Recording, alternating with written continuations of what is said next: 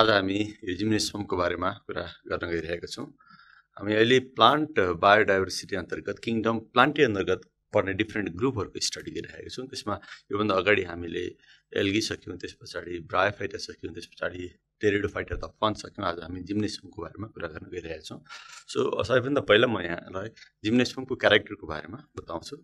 कस्तो कस्तो क्यारेक्टर भएको प्लान्टहरूलाई चाहिँ जिम्नेसियम भनिन्छ त्यहीबाट म सुरु गर्छु। सो सुरुमा characters. So characters of gymnosperms अब यो भनेको चाहिँ अलिकति डेभलप प्लान्ट भइसक्यो जस्तो कि एल्गी भन्दा ब्रायोफाइटा अलिक बढी डेभलप ब्रायोफाइटाभन्दा टेरिडोफाइटा टेरिडोफाइटाभन्दा जिम्नासम अलिक बढी डेभलप हुन्छ। सो यसमा हामी के हुनुपर्छ भन्दाखेरि these are the flowering plants कसै कसैले फ्लावरिङ भन्छ but flowers are not distinct अनि flowers are replaced by cones so अब त्यो एउटा त्यसलाई हामी यसरी लेख्छौँ flowering but flowering plant where flowers are replaced by by cones. So यो यो कुरा एकदम इम्पोर्टेन्ट क्यारेक्टर्स हो यसको. सो मोस्ट अफ द जिम्नेस फर्म्सहरू चाहिँ कस्तो हुन्छ भन्दा they are prefer to grow in xerophytic habitat तर धेरै भेरिएसनहरू छ। मैले एउटा मेन क्यारेक्टर चाहिँ यहाँनिर लेखेँ त्यस पछाडि अर्को क्यारेक्टरमा यहाँ थप्दैछु। मोस्टली जेरो फाइटिक हुन्छ प्लान्ट चाहिँ the perennial mostly xerophytic, perennial, and well differentiated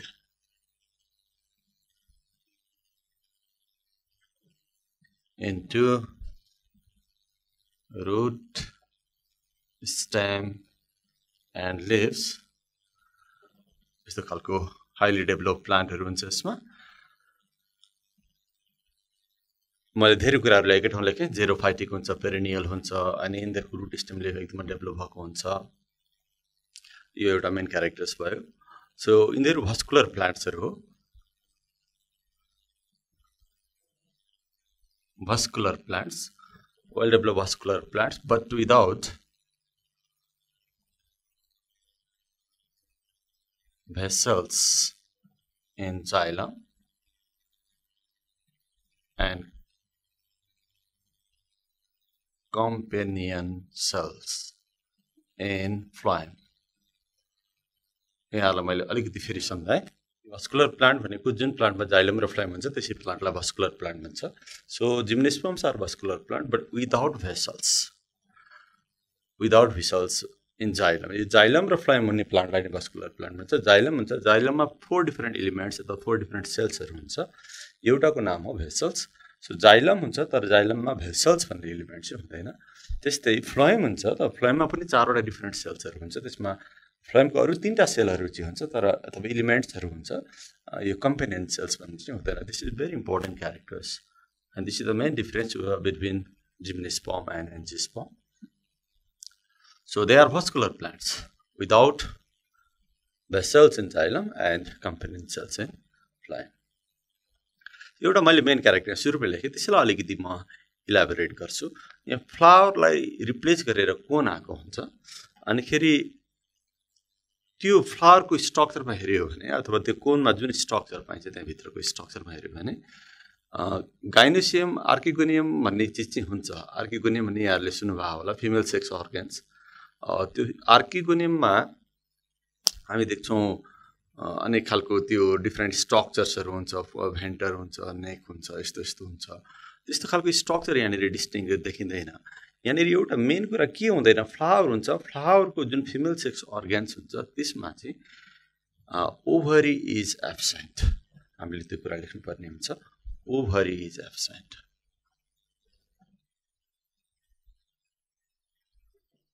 ovary is absent that's why fruits are not form in gyms why because ovary is this is very important characters ovary is absent that's why the seeds are naked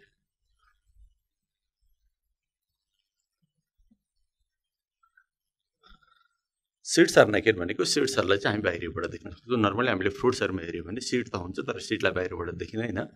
तर जिम्नेसियममा के हुन्छ भन्दाखेरि सिड्सहरूलाई बाहिरबाट देखिन्छ। किन भन्दाखेरि ovary नभएको हुनाले ओभरीभित्र पछाडि ओभरी नै बढेर फ्रुट बन्छ अनि फ्रुटबाट भित्र सिड बन्ने हो तर ओभरी नभएपछि फ्रुट बनेन तर सिड चाहिँ हुन्छ। That's why seeds are naked can be seen from outside due to the absence of ovary so यस्तो खालको स्ट्रक्चर छ this two are the very important most important characters भन्नुपर्छ जिम्निस्पमको सबैभन्दा इम्पोर्टेन्ट क्यारेक्टर्स यही नै भयो and that's the gymnosperms are call naked seeds plants पनि भन्छौँ हामी जिम्निस्पमलाई कमनली नेकेड सिट प्लान्ट्स पनि भन्छौँ। Why because ovary is absent so अरू थुप्रै क्यारेक्टर्सहरू छन् असाध्यै धेरै क्यारेक्टर्सहरू छन्। जस्तो कि यहाँनिर हामी एन्जिस्पमसँग कम्पेयर गऱ्यौँ भने फर्टिलाइजेसनको कुरा गर्दाखेरि दुइटै फ्लावरिङ प्लान्टमा राख्न सक्छौँ हामी जिम्नेस्पम एन्जिस्पमलाई तर एउटा मेन डिफ्रेन्स के हुन्छ भन्दाखेरि एन्जिस्पममा चाहिँ डबल फर्टिलाइजेसन ट्रिपल फ्युजन भन्ने हुन्छ। त्यस्तो खालको डबल फर्टिलाइजेसन त्यस्तो यहाँ हुँदैन। हुन त यसमा मात्रै होइन अरूमा पनि हुँदैन। एल्गी फन्जाइ ब्रायोफाइटा टेरिडोफाइटा कुनैमा हुँदैन त्यस्तै जिम्नेस्पममा पनि हुँदैन। यहाँलाई यो कुरा मैले सम्झाएँ कि double fertilisation triple fusion is absent.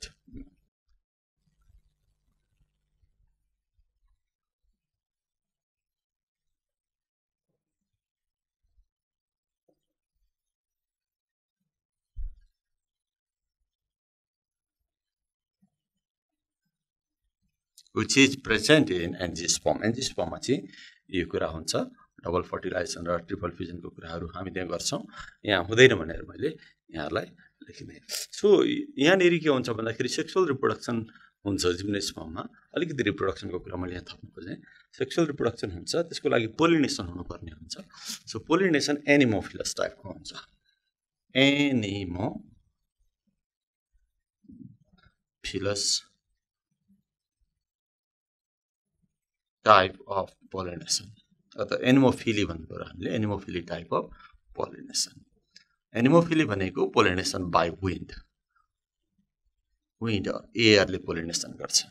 So यो जिम्नेसनको एउटा इम्पोर्टेन्ट क्यारेक्टर भयो पोलिनेसन बाई विन्ड अनि त्यस पछाडि अर्को सेक्सुअल रिप्रोडक्सनको मेथड हेऱ्यो भने ऊ ग्यामस टाइपको सेक्सुअल रिप्रोडक्सन हुन्छ। यो ऊ ग्यामस type of sexual reproduction. यी सबै क्यारेक्टर्सहरू हुन् अनि इम्ब्रायोहरू हेऱ्यो भने धेरै इम्ब्रायोहरू बनेको हुन्छ त्यसलाई हामी पोली नै भन्छौँ। पोली embryo is common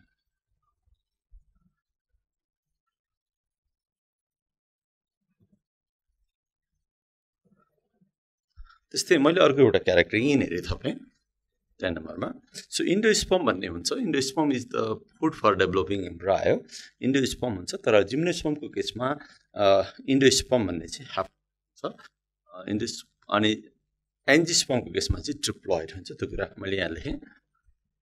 Endosperm which is the food for embryo endosperm is haploid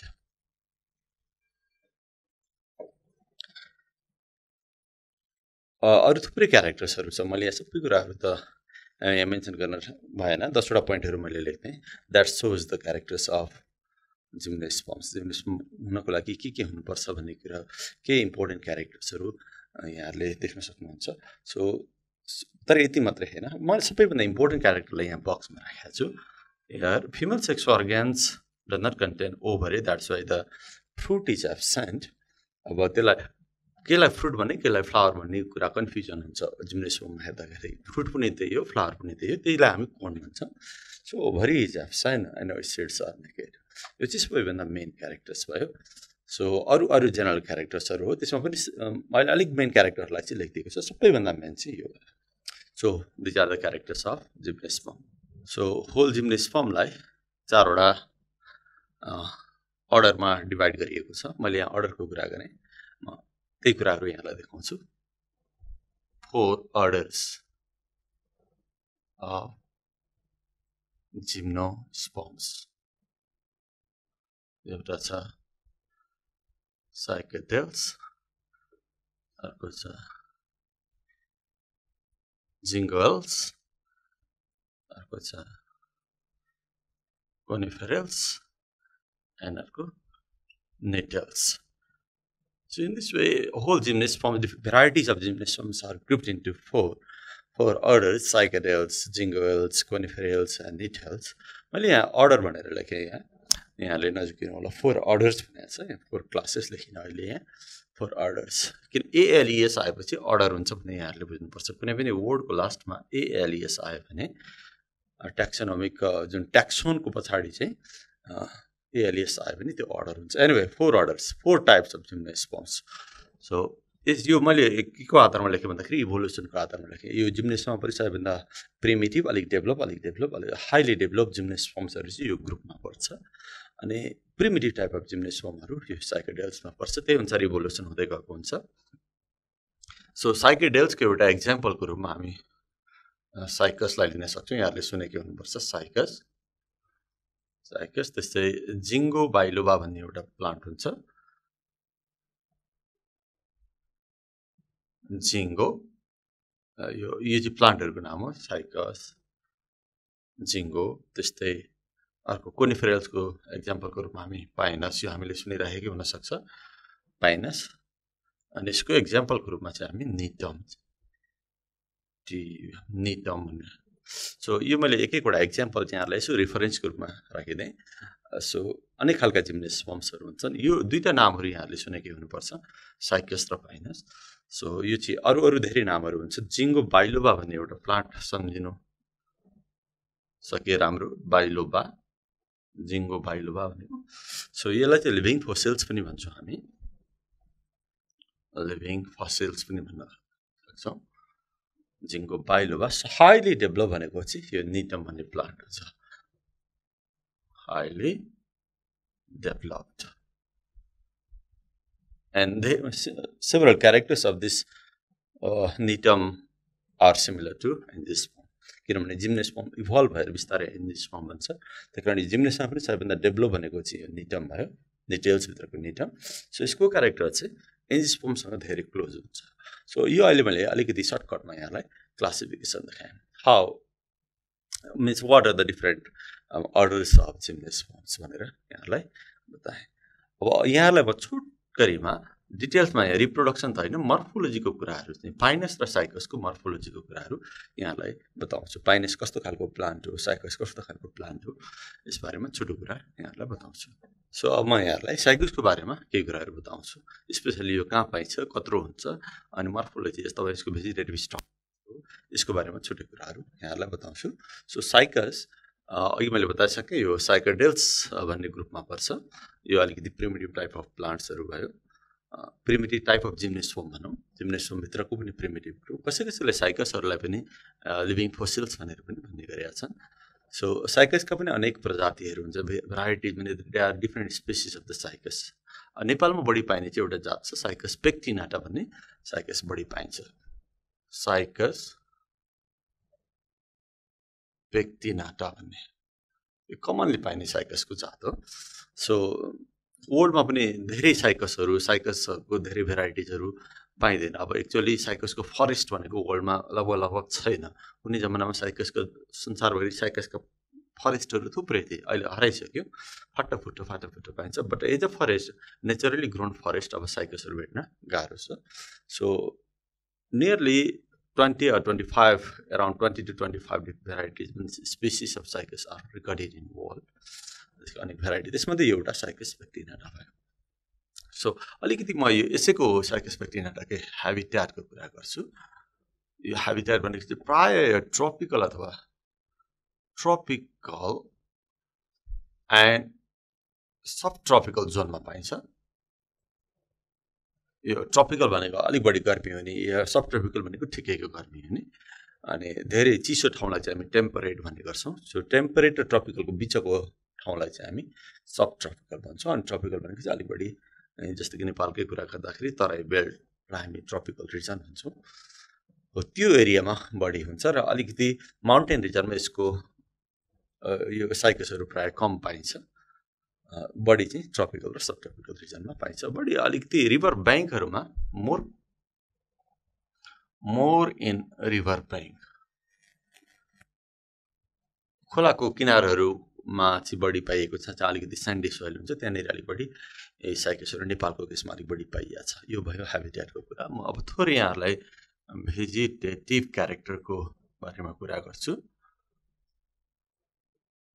vegetative character भनेको प्लान्टको मर्फोलोजीको बारेमा भनौँ हामी। सो साइकस कत्रो हुन्छ भन्नेबाट म सुरु गर्छु। साइकसको बोर्ड भनेको जान्दै स्लो ग्रोइङ प्लान्ट असाध्यै ढिलो बढ्ने प्लान्ट हो।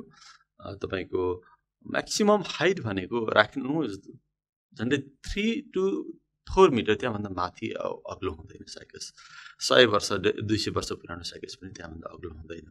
So it's very slow growing plant so रफली राखौँ हामी around around two two three metre tall a fully ground कन्डिसनमा होइन भने यति पनि नहुन सक्छ टु मिटर पनि नहुन सक्छ एकदम सानो जस्तो कि बिस वर्ष जतिको साइकसको बोट हेऱ्यो भने झन्डै झन्डै हामी जति अग्लो हुन्छ जस्तो कि पाँच छ फिटको जति हुनसक्छ। It's very slow growing plant यस्तो हुन्छ। सो अब यसको मैले हाइटको कुरा त गरिहालेँ। यसको अलिकति plant is well differentiated into root स्टेमले root हुन्छ स्टेम हुन्छ लिफ हुन्छ वेल डेभलप हुन्छ। अनिखेरि अब अलिकति रुटको कुरा गर्दाखेरि चाहिँ म अहिले सानो एउटा प्लान्ट बनाउँछु त्यस पछाडि यहाँलाई अलिकति सजिलो होला। जस्तो कि एउटा सानो साइकसको मैले फिगर बनाउन खोजेँ यहाँनिर यस्तो खालको स्ट्रक्चरहरू यहाँ देख्छु। यो स्टेममा हेऱ्यो भने हामीले यस्तो खालको स्किल यस्तो खालको स्ट्रक्चरहरू हामी देख्न सक्छौँ साइकसको बोर्डको हेऱ्यो भने त्यस्तै अब यो चाहिँ यो चाहिँ स्टेम भयो। यो त सोइलको सर्फेस बनाएँ मैले। यस्तो खालको सोइलको सर्फेस भयो। यो यो सोइलको सर्फेस भयो। यो चाहिँ स्टेम भयो। अनि यहाँबाट यसरी लिफहरू निक्लेको हुन्छ। वरिपरि यसरी लिफहरू निक्लेको हुन्छ साइकसको अरू क्राउन अफ लिफ्सहरू निक्लेको हुन्छ। अनि यहाँनिर चाहिँ थुप्रै लिफलेट्सहरू हुन्छ यस्तो खालको। सपोज मैले अलिकति जस्ट यहाँहरूलाई मोडल जस्तो मात्र बनाएर देखाइरहेको छु।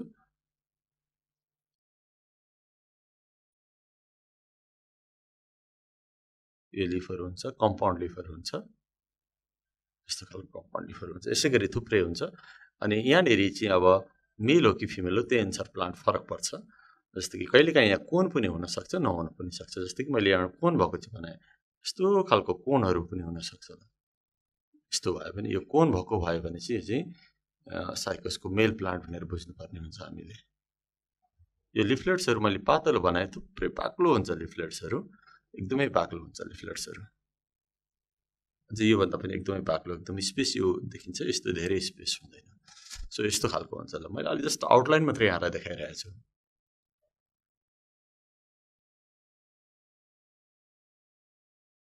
एकदम let's suppose this is cone मैले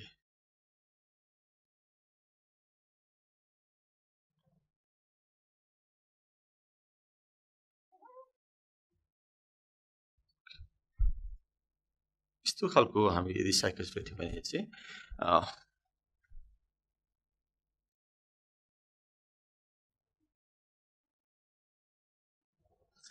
सो मेल साइकसको बोट यस्तो हुन्छ। सो अब यसको बारेमा म छोटो कुराहरू गर्छु। जस्तै कि यसको रुट त यहाँ मुनि हुन्छ। रुट अन्डरग्राउन्ड हुने भइहाल्यो अनि रुट देखिँदैन। रुट ट्याप रुट हुन्छ। रुट ट्याप रुट हुन्छ। ब्रान्च्ड हुन्छ। अनिखेरि एउटा इम्पोर्टेन्ट कुरा म रुटमा यहाँहरूलाई सम्झाउँछु कि साइकसको रुट अलिकति म्याच्योर साइकसको रुटमा हेऱ्यो भने त्यसको रुटमा चाहिँ अनि ब्याक्टेरिया साइनो ब्याक्टेरियाहरू अथवा ब्लु ग्रिन एल्गेहरू एसोसिएट हुन्छ त्यहाँ बस्न थाल्छ। अनि त्यो त्यो भएपछि त्यो बसेको साइकसको रुट चाहिँ के हुन्छ? अलिकति मोडिफाइड हुन्छ र नेगेटिभली जियोट्रपिक हुन्छ। त्यस्तो खालको नेगेटिभली जियोट्रपिक रुटलाई चाहिँ हामी कोरोलाइट रुटहरू भन्छौँ। सो साइकसको रुटमा कोरोलाइट रुटले एकदमै इम्पोर्टेन्ट कुरा हो। Corolite roots are found. जस्तो कि कोरोलाइट रुट चाहिँ कस्तो हुन्छ भन्दाखेरि नेगेटिभली जियोट्रपिक हुन्छ भने मैले अघि यहाँ हामी देख्न सक्छौँ। हाइली ब्रान्च हुन्छ यो माथितिर बढिरहेको छ। You can see they are highly branched with pores कहिलेकाहीँ यिनीहरू सोइलदेखि माथि आउँछ र त्यहाँनिर सानो पोर्सहरू हुन्छ त्यो पोरबाट यसले एयर एक्सचेन्ज गर्ने पनि काम गर्छ। यो रुट हो। मुनितिर जानु छ रुटहरू normally they are positively geotropic तर अघि मैले बताइसकेँ ब्याक्टेरिया र साइनो ब्याक्टेरिया अथवा ब्लु ग्रिन बसिसकेको साइकसको रुटहरू चाहिँ अब माथितिर फर्किन्छ यसरी मुनितिर नगएर माथितिर फर्किन्छ यसरी। माथितिर फर्किन्छ अनि हाइली ब्रान्च हुँदै वाइसिपमा यसरी ब्रान्चिङ हुँदै माथितिर आउँछ। यो खालको रुटलाई चाहिँ हामी कोरोलाइट रुट भन्छौँ। So coralloid root is the root which is associated with associated with bacteria and blue green algae मैले सर्टकटमा लेखेँ ब्लु ग्रिन एल्गी जसलाई हामी साइनो ब्याक्टेरिया पनि भन्छौँ। सो यो यो बसिसकेको सिम्बायोटिक एसोसिएसन भयो। साइकोसको रुटमा यो ब्याक्टेरिया र साइनो ब्याक्टेरिया अथवा ब्लु ग्रिन एल्गीहरू सिम्बायोटिकली एसोसिएटेड भयो भने त्यो खालको रुटलाई चाहिँ कोरोलाइट रुट हुन्छ अनि they are like this character लेखिसकेँ। जस्तो कि they are negatively geotropic highly branched and the branching is वाइसेभ and the bears pores मैले पोर्सहरू जस्तो बनाएँ यो पोर्सहरूबाट चाहिँ एयर एक्सचेन्ज गर्ने काम गर्छ यो सोयलदेखि माथि निक्लेको पनि हुनसक्छ यहाँनिर यसरी कोरोलाइट रुटहरू मेच्योर साइकसको बोटको फेदमा देख्न सकिन्छ so this is about the root anyway function of root is very simple it helps in fixation in the plant and absorption of water and minerals. But corolite root helps in exchange of gases. यो रुटको कुरा भयो। अब यहाँलाई थोरै स्टेमको कुरा गर्छु। कि साइकसको स्टेम कस्तो हुन्छ भन्ने कुरा भयो। सो स्टेम स्टेम कस्तो छ? इरेक्ट छ। यहाँहरू देख्न सक्नुहुन्छ। कोलम उनीहरू कोलम भनेको यस्तो के कोलम जस्तो पिल्लर जस्तो भन्छौँ हामी। It is erect columnar unbranched solid अब यही कुराहरू हामी लेख्न सक्छौँ। Erect stem is unbranched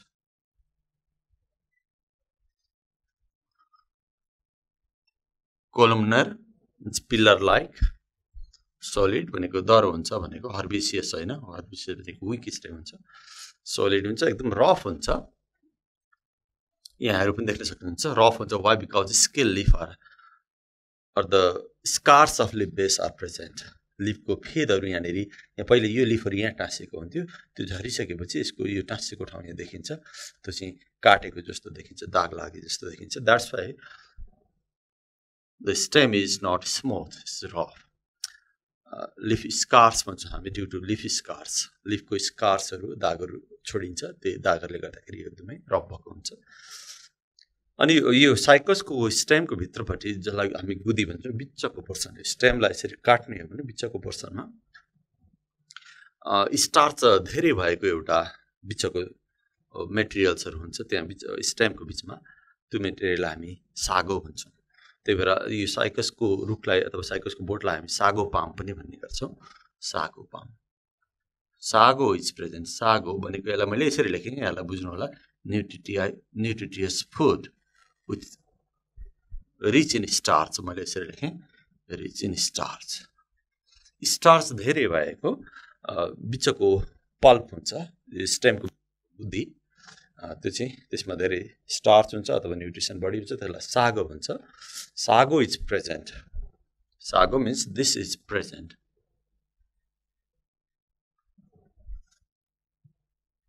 in the pulp लेखेँ मैले पल्प अफ स्ट्याम्प त्यही भएर साइकसलाई हामी सागो पाम पनि भन्ने गर्छौँ। S A G O sago palm why because the plant looks like a palm tree यो प्लान्ट कस्तो भयो भने पाम ट्री पाम ट्री भन्ने अर्को एउटा प्लान्ट हुन्छ। त्यो जस्तै भयो जस्तो कि यसको लिफहरू यसरी स्प्रेड हुँदाखेरि पाम जस्तो भयो हात जस्तो भएर स्प्रेड भएको हुन्छ। त्यही भएर पाम भन्ने वर्ड आयो सागो किन भनेको यसको स्टेमभित्र सागो पाइन्छ। यो मान्छेहरूले साइकसको बोटलाई यसरी काटेर भित्रको त्यो सागो निकालेर त्यसको बिचको पोर्सन निकालेर खाने पनि गर्छन्। So that's why sago palm. यो भयो स्टेमको कुरा। तर अब साइकसको स्टेम उड्डी चाहिँ हुन्छ ठुलै हुन्छ। सो यसको स्टेम झन्डै झन्डै हाफ मिटर जति हुन्छ। तर यो स्टेमलाई हामी काटेर त्यस्तो फर्निचर बनाउन मिल्ने खालको स्टेम चाहिँ हुँदैन। उड्डी चाहिँ उड्डी हुन्छ त्यसलाई हामी सफ्ट वुड भन्छौँ। सो स्टेम चाहिँ कस्तो हुन्छ भन्दाखेरि सफ्ट वुड हुन्छ। Soft wood which can not be use in the in making different type of furniture त्यसलाई काटेर फर्निचर बनाउनु मिल्ने खालको वुड चाहिँ हुँदैन। यो भयो रुट र स्टेमको कुरा। अब थोरै म यहाँहरूलाई लिभको बारेमा कुरा गर्छु। अब यहाँहरूलाई म लिभको बारेमा कुरा गर्छु। यहाँ मैले एकदम सिम्पल सिम्प्लिफाइड फिगर बनाएको छ। त्यसैलाई अलिकति म थोरै लिफको बारेमा त्यही फिगरको आधारमा यहाँलाई बताउँछु सो लिफहरू दुई खालको लिफहरू हुन्छ यो साइकसमा त्यसलाई हामी डाइमर्फिक लिफ भन्छौँ डाइमर्फिक लिभ्स भनेको two types of lives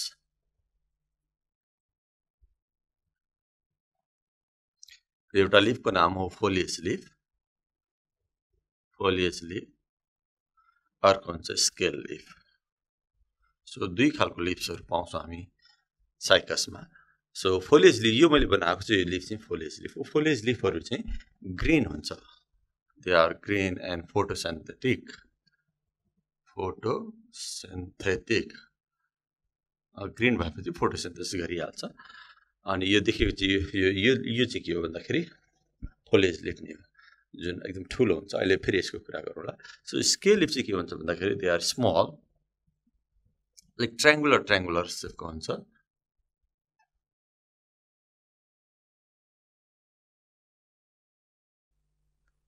brownish non green हुन्छ तिनीहरू द्याट्स वाइ नन फोटोसेन्थेटिक त्यसले फोटोसेन्थेटिक गर्दैन स्केलिफले अनि प्रोभाइड्स प्रोटेक्सन प्रोभाइड्स प्रोटेक्सन यस्तो खालको हुन्छ। अब अलिकति यसलाई त्यही लिफलाई अलिकति ठुलो बनाउँदाखेरि यस्तो खालको देखिने भयो। यो जस्तो कि साइकसको लिफ बनाउँदाखेरि यहाँनिर यो बिचको जुन हुन्छ यो चाहिँ एकदमै दह्रो हुन्छ। यसलाई हामी ऱ्याचिस भन्छौँ।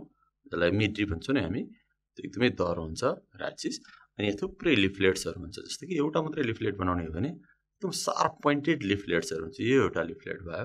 एकदमै धेरै खाद्यको लिफलेट्सहरू हुन्छ यस्तो खालको। सपोज यो अर्को लिफलेट भयो यस्तो धेरै लिफलेट्सहरू हुन्छ।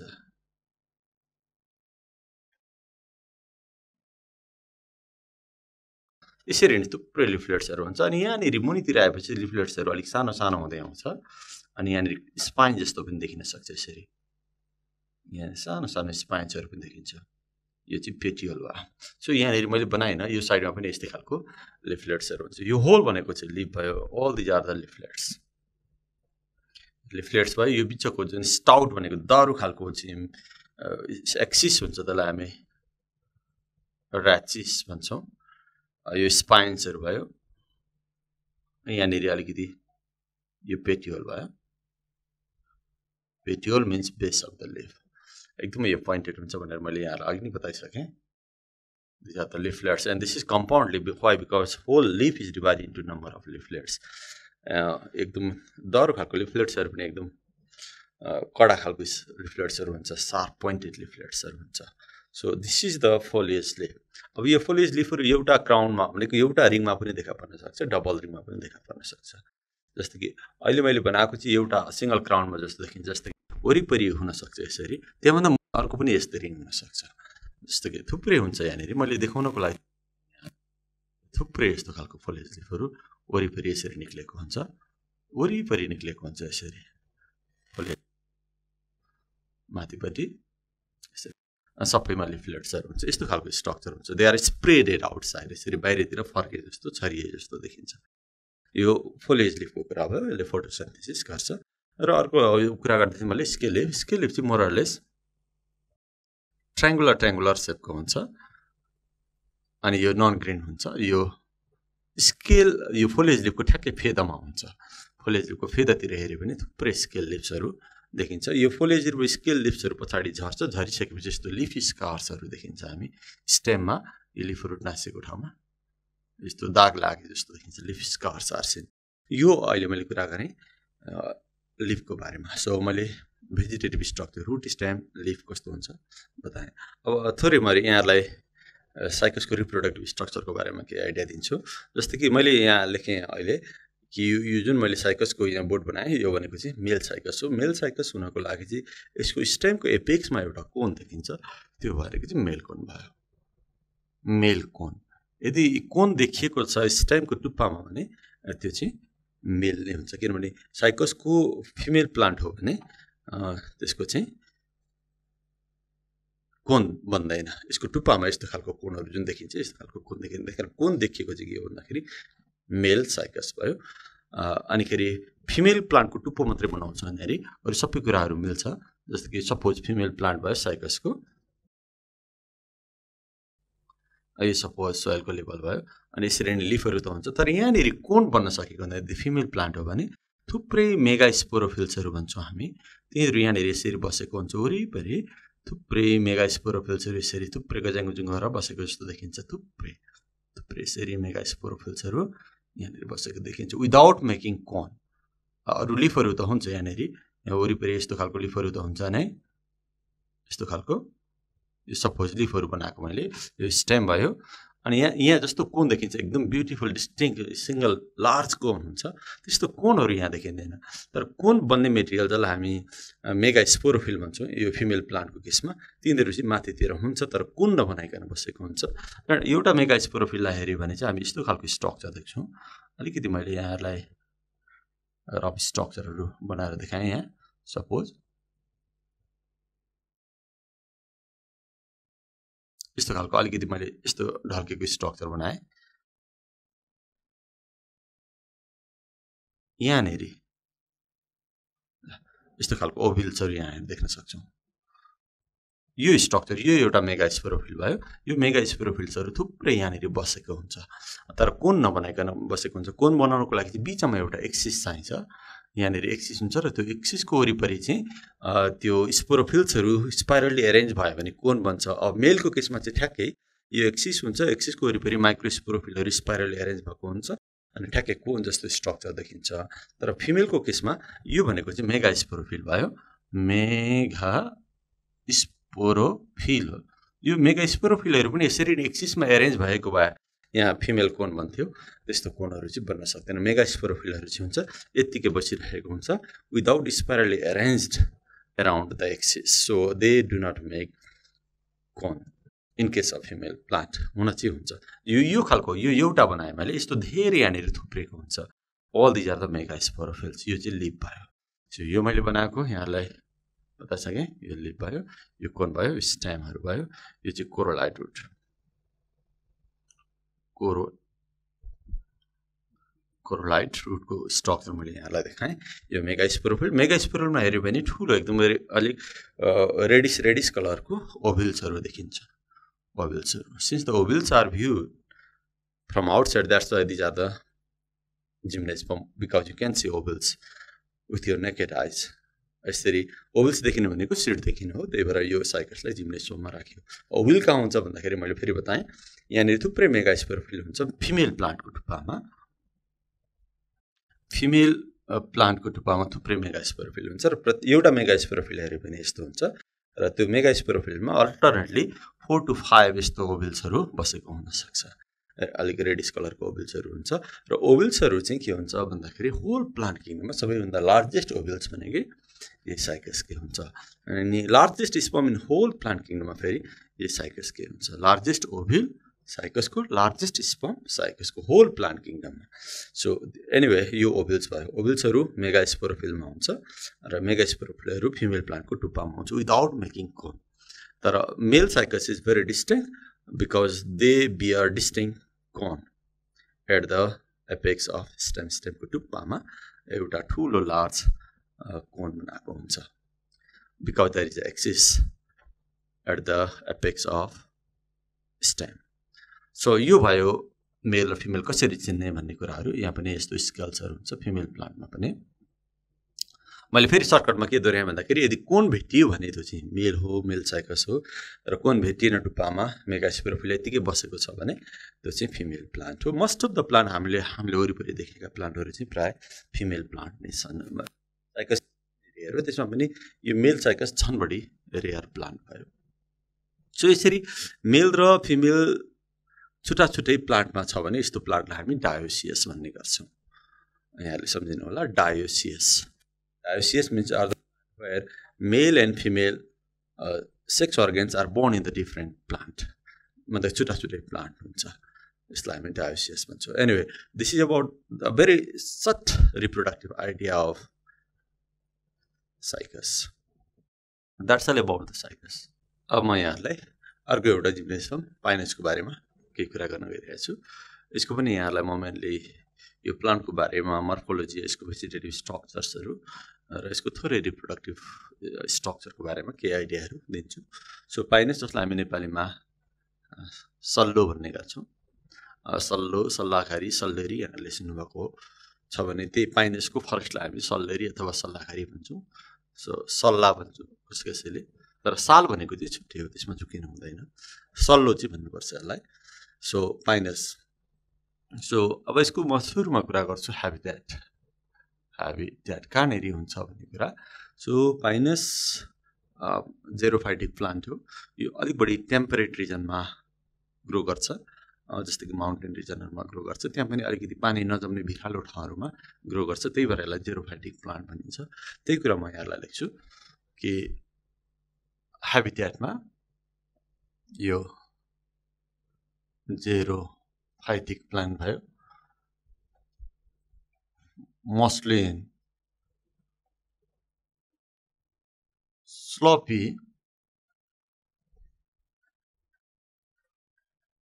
sloppy sloppy land of mountain. That is in temperate zone.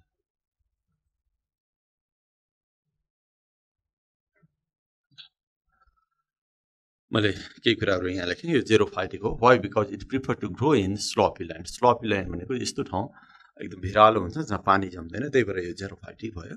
So it is found in the sloppy land of mountain mountain भनेको पाहाडहरू हिमालहरूमा बढी हुन्छ। त्यस्तो रिजनलाई हामी टेम्परेट रिजन भन्छौँ। सो टेम्परेट रिजनमा बढी पाइन्छ। तराईतिर पाइँदै नपाइँदैन फाटो फुटो कतै कतै खोज्यो भने भेटिन्छ। तर फरेस्ट त्यस्तो पाइनेसको फरेस्ट नै तराईमा चाहिँ पाइँदैन। भनेको अलिक ट्रपिकल एरियामा पाइँदैन। टेम्परेट रिजनमा माउन्टेन रिजनमा अलिकति अप्पर हिल साइडहरूमा चाहिँ बढी हुन्छ। सो पाइनेसको चाहिँ फरेस्ट थुप्रै पाइन्छ जस्तो कि साइकसको कुरा गरी योभन्दा अगाडि। मैले बताएँ साइकसको फरेस्ट अब पाइँदैन कहीँ पनि। तर पाइनेसको फरेस्ट नेपालमा पनि धेरै फरेस्टहरू छ। धेरै ठाउँको नाम चाहिँ हामी सल्लाहगरी अथवा सल्लरी भनेर सुनेका छौँ। सो त्यो भनेकै पाइनेसको फरेस्ट भयो। So number of forest are found from east to west of Nepal. यो हेबिट्याटको कुरा आयो। सो हेबिट्याटमा हामीले बिर्सिनु हुँदैन। So mountain region sloppy land and xerophytic in nature अलिकति म अब भेजिटेटिभ स्ट्रक्चरको बारेमा कुरा गर्छु। यसको भेजिटेटिभ स्ट्रक्चर अथवा मर्फोलोजी कस्तो हुन्छ? सो भेजिटेटिभ स्ट्रक्चर कुरा गर्दाखेरि सो यसको बढी एकदम हाइली डेभलप्ड भएको प्लान्ट भयो भने चाहिँ सल्लो कुरो असाध्यै ठुलो हुन्छ। So sometime it it goes up to let's a fifty metre tall पनि हुनसक्छ। पचास मिटर जति अग्लो पनि हुनसक्छ नर्मल्ली सो अहिले असाध्यै फास्ट ग्रोइङ प्लान्ट हो र निकै अग्लो हुन्छ यसको। मैले यसरी लेखेँ यो फास्ट ग्रोइङ प्लान्ट हो। थोरै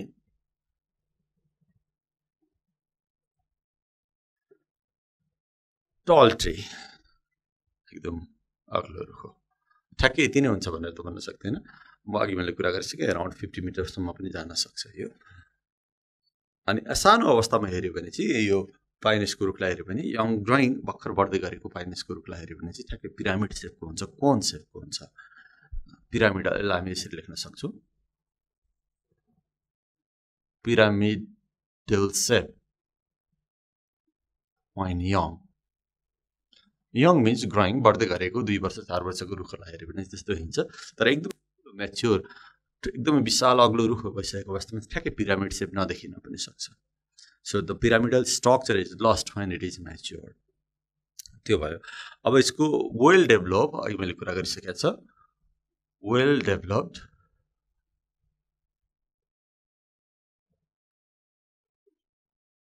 root stem and leaf हुन्छ यसमा फुल्ली डेभलप्ड सो अलिकति म अब रुटबाट सुरु गर्छु। रुट यसको ट्याप रुट हुन्छ।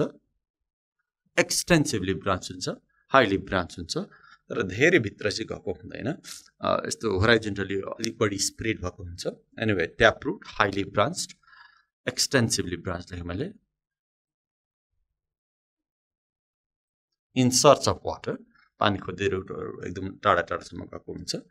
अब एउटा इम्पोर्टेन्ट कुरा यो पाइनिसको रुटमा एउटा इम्पोर्टेन्ट क्यारेक्टर देखिन्छ कि पाइनिसको रुट रुटमा रुटको पनि ब्रान्चेसहरूमा म्याच्योर पाइनसको रुट रुटमा हेऱ्यो भने चाहिँ त्यसको सर्फेसमा फङ्गस एसोसिएट भएको हुन्छ अथवा फङ्गस लागेको सपोज यो रुट भयो भने पाइनसको रुट भयो भने म्याच्योर प्लान्टको रुट पाइनसको रुट हो भने चाहिँ यसको सर्फेसमा फङ्गसको थ्रेड्सहरू माइसिलियमहरू बसेको हुन्छ।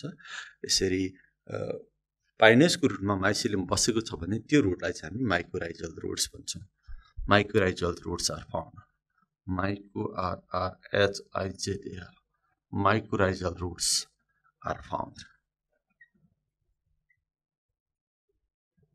Mm. Mature plant. Mature प्लान्टमा mycorrhizal रुट्सहरू भन्छ माइक्रोराइजल रुट्स के हो भनेर अलिकति म थोरै बताउँछु। माइक्रोराइजल रुट्स आर द रु roots of Pinus or the higher plants कुनै पनि अरू प्लान्टको रुटलाई पनि माइक्रोराइजल रुट भनिन्छ। यदि त्यो रुटमा फङ्गस टाँसिएको छ भने जस्तो कि माइको भनेको फङ्गस भयो राइजा भनेको रुट भयो रुट प्लस फङ्गस को सिम्बायोटिक एसोसिएसन छ भने त्यसलाई हामी माइक्रोराइजा भन्छौँ। सिम्बायोटिक एसोसिएसन यो दुइटाको रुट र फङ्गसको सिम्बायोटिक एसोसिएसन छ भने त्यस्तो खालको रुटलाई माइक्रोराइजल रुट्स भन्छौँ। सो पाइनेसको रुटमा माइक्रोराइजर भनेको फङ्गसहरू एसिस्ट भएको हुन्छ म्याच्योरमा र त्यसलाई माइक्रोराइजल रुट भन्छ। त्यो अब नर्मली हामीले यसरी देखाउन सक्छौँ। यो सपोज हाइली ब्रान्च्ड यो पनि यसरी हाइली ब्रान्च हुन्छ। ल सपोज यो कुनै एउटा रुटको पोर्सन हो जुन एकदमै ब्रान्च भएको छ। यसरी हामी धेरै ब्रान्च भएको पनि देखाउन सक्छौँ। लेट सपोज मानिलिउँ अब यसको सर्फेसमा के भएको छ? यसरी फङ्गसहरू एसोसिएटेड भएको छ। लेट सपोज यो मैले तानेको लाइन लाइनले चाहिँ फङ्गसको रिप्रेजेन्ट गरिराखेको छ। सो यस्तो भयो फङ माइक्रोराइजल रुट्स लेट सपोज यो fungus fungus and this is root and this root is now call mycorrhizal root so this is very important character जस्तो कि हामीले साइकसको कुरा गरेका थियौँ साइकसमा चाहिँ के हुन्छ भन्दाखेरि रुटमा ब्याक्टेरिया र साइनो ब्याक्टेरियाहरू बस्छ अनि पाइनेसको रुटमा चाहिँ फङ्गस बस्छ। सो दिस बढ्दो रुट त माइक्रोराइजल रुटले रुट हेयरको रूपमा काम गरिराखेको हुन्छ। सो यसले प्लान्टलाई अझ बढी मिनरल्स वाटर फस्फेटहरू एब्जर्भ गर्नको लागि हेल्प गरिराखेको हुन्छ। Mycorrhizal रुटको function is to help in the absorption of water and minerals यो भयो रुटको कुरा. अब अलिकति यहाँहरूलाई म स्टेमको कुरा गर्छु। पाइनिसको स्ट्याम्प कस्तो हुन्छ भन्ने कुराहरू। अब पाइनिसको ट्रीको कुरा गर्दा त असाध्यै ठुलो रुख हुन्छ। अब त्यही अलिकति त्यो स्ट्याम्पलाई हामीले हेऱ्यो भने एकदमै ठुलो हुन्छ यसको स्ट्याम्प यो त सोइलकोले भयो सपोज यो स्ट्याम्प मानिलिउँ। अनि यसको स्ट्याम्प पनि एकदमै चिरा चिरा परेको जस्तो देखिन्छ। फुटेको जस्तो देखिन्छ। अब यो मैले अलिकति थ्रेड जस्तो बनाएँ। मानिलिउँ यो चिरा परेको बोक्रा हुन्छ नि पाइनिसको रुखको म्याच्योरको बोक्रा हेऱ्यो भने बाहिरपट्टिको स्ट्याम्पमा बोक्रा हेऱ्यो भने चिरा चिरा परेको चिरिएको जस्तो देखिन्छ। स्लिट्सहरू देखिन्छ। चिरा परेको जस्तो हुन्छ एकदमै रफ हुन्छ एकदमै। यसरी। यस्तो खालको देखिन्छ। सो एनिवे अब स्टेम कस्तो हुन्छ? स्टेमको बारेमा कुरा गरौँ। स्टेम इज इरेक्ट नै भयो। यो ब्रान्च हुन्छ। उड्डी हुन्छ। उड्डी एकदम हार्ड उड हुन्छ। जस्तो कि योभन्दा अगाडि मैले कुरा गरेको थिएँ साइकोसको रुट पनि स्ट्याम्प पनि उड्डिने हुन्छ। तर साइकोसको स्ट्याम्प चाहिँ सफ्ट वुड हुन्छ। साइकोसको स्ट्याम्पले काटेर फर्निचर बनाउनु मिल्दैन तर यसको स्ट्याम्प एकदमै हार्ड हुन्छ उड्डी हुन्छ and this can be use in the furniture so यसको स्ट्याम्पलाई काटेर धेरै फर्निचरहरू टेबल कुर्सी दराजहरू बनाउन मिल्छ। सो उड्डी एन्ड उड्डीमा पनि कस्तो भन्दाखेरि हार्ड वुडहरू पाइन्छ। अनि मैले बताइसकेँ यसको स्ट्याम्प बाहिरबाट हेर्दाखेरि स्मुथ हुँदैन रफ हुन्छ। रफ किन हुन्छ भन्दाखेरि यसको बोक्रा जुन देखिन्छ बाहिरपट्टिको बार्क त्यो सेकेन्डरी ग्रोथ हुँदाखेरि फुटेर चिरा चिरा चिरा परेको हुन्छ। त्यस्तो खालको रफ स्टेमहरू देखिन्छ। अनि यो मैले बताइसकेँ यो हाइली ब्रान्च हुन्छ यो सो यसको ब्रान्चको बारेमा अलिकति म यहाँहरूलाई कुरा गर्छु। सो यसको ब्रान्चहरू दुई खालको हुन्छ। यो ब्रान्च यो जस्तो कि ब्रान्चहरू यहाँबाट निक्लेको हुन्छ। अब यो कुरा म यहाँलाई अर्को फिगर बनाएर देखाउँछु। अब म यहाँहरूलाई स्टेमको ब्रान्चेसको बारेमा कुरा गर्छु। सो मैले अघि बताइसकेँ स्टेम कस्तो हुन्छ भनेर स्टेम एकदमै ठुलो हुन्छ। मेन स्टेम जसलाई हामी ट्रङ्क भन्छौँ त्यो चाहिँ एकदमै ठुलो हुन्छ मोटो हुन्छ अग्लो हुन्छ त्यसैबाट ब्रान्चहरू निक्लेको हुन्छ। त्यो ब्रान्चहरू जस्तो कि यहाँहरूलाई म थोरै फिगर बनाएर देखाउँछु। जस्तो कि मानिलियो यो मेन स्टेम भयो पाइनेसको यो सोइलको लेभल भयो यो हाइली ब्रान्च हुन्छ। यसबाट मानिलिनु एउटा ब्रान्च मैले यहाँ देखाएँ यहाँलाई सपोज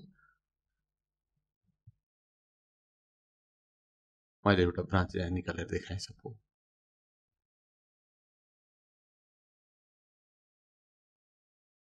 यसरी ब्रान्चहरू निक्लिरहेको हुन्छ। थुप्रै फेरि यसबाट पनि अरू ब्रान्चहरू निक्लेको हुन्छ मानिलिनु यसरी ब्रान्चहरू निक्लिरहेछ।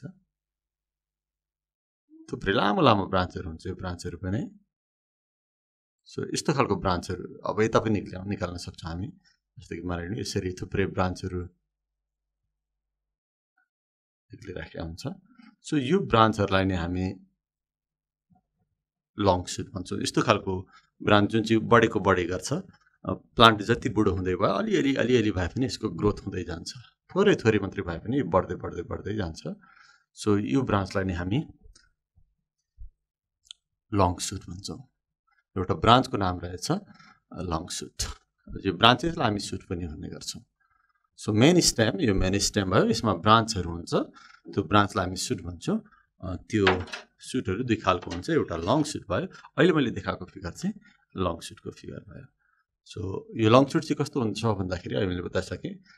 So rises from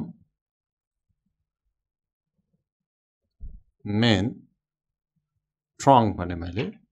main trunk अथवा main stem and grows continuously it grows continuously so त्यहीलाई त्यही भएर यसलाई चाहिँ हामी लङ सुटलाई हामी ब्रान्चेस अफ अनलिमिटेड ग्रोथ पनि भन्ने गर्छौँ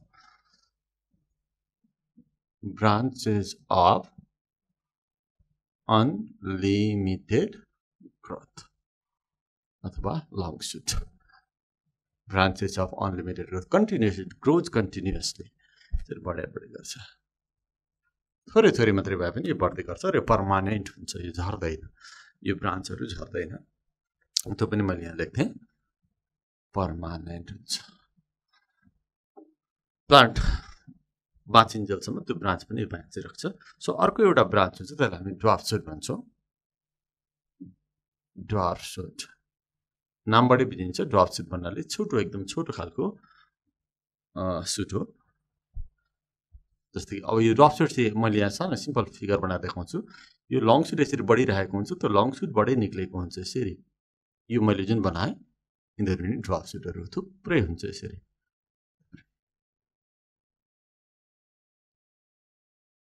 टुप्पातिर हुन्छ लङ सुट यो लङ सुट भयो लङ सुटको टुप्पातिर यसरी ड्रप सुटहरू निक्लेको हुन्छ थुप्रै। मानिलियो सबै ड्रप सुटहरू भयो। मैले यहाँ सबै ठाउँ देखाइनँ। अलिकति केही रिजनमा देखाएँ यहाँनिर यहाँले बुझ्न सक्नुहुन्छ all these are the dwarf shoot dwarf shoot यो लङ सुट अनि लङ सुटको टुप्पातिर ड्रप सुट यतातिर निक्लेको हुन्छ पहिला यता खस्दै खस्दै जान्छ। यो फेदातिर यो फेद भयो फेदातिर खस्दै खस्दै जान्छ। अनि लङ सुट बढ्दाखेरि लङ सुटको टुप्पातिर यो ड्रप सुटहरू पनि निक्लिँदै जान्छ। सो अब ड्रप सुट कस्तो रहेछ भन्दाखेरि rises from rises from this long shoot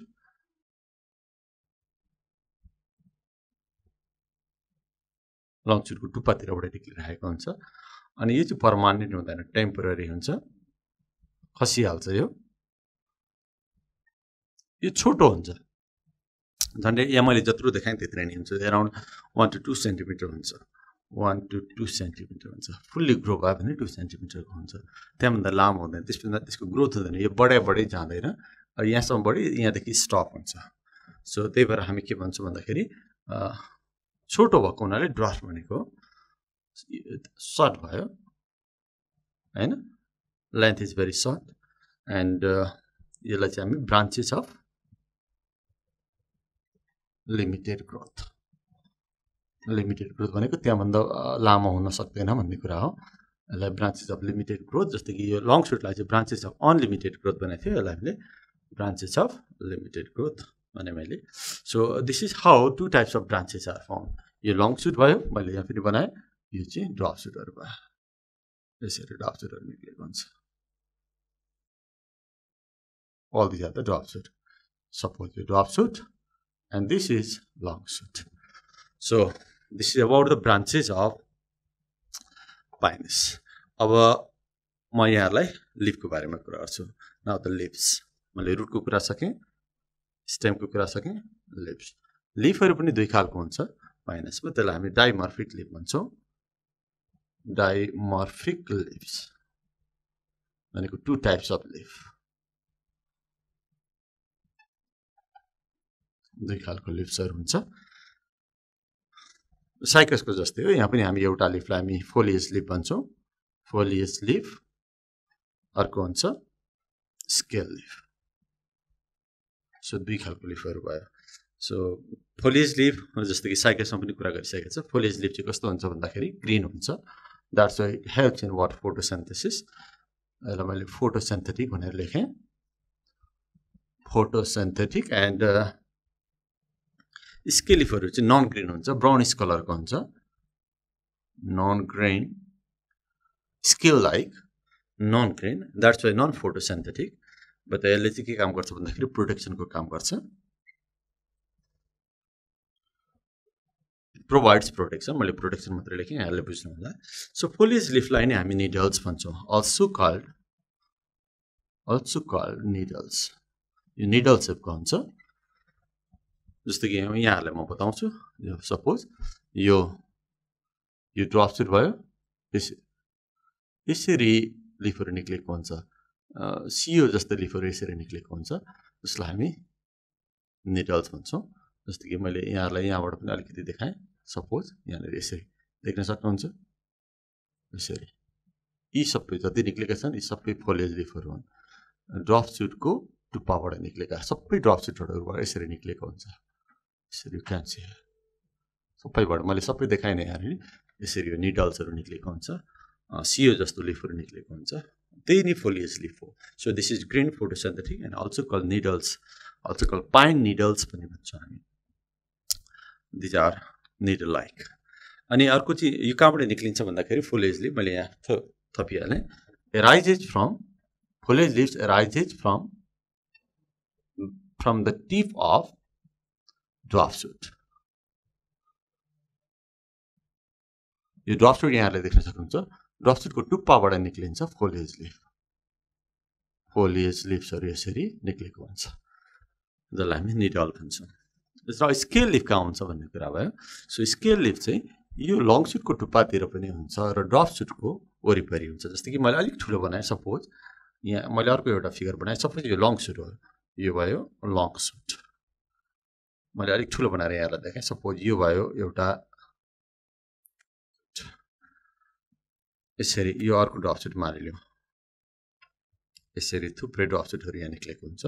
बाक्लै हुन्छ। अनि यो यो चाहिँ भयो। सपोज यो चाहिँ भयो।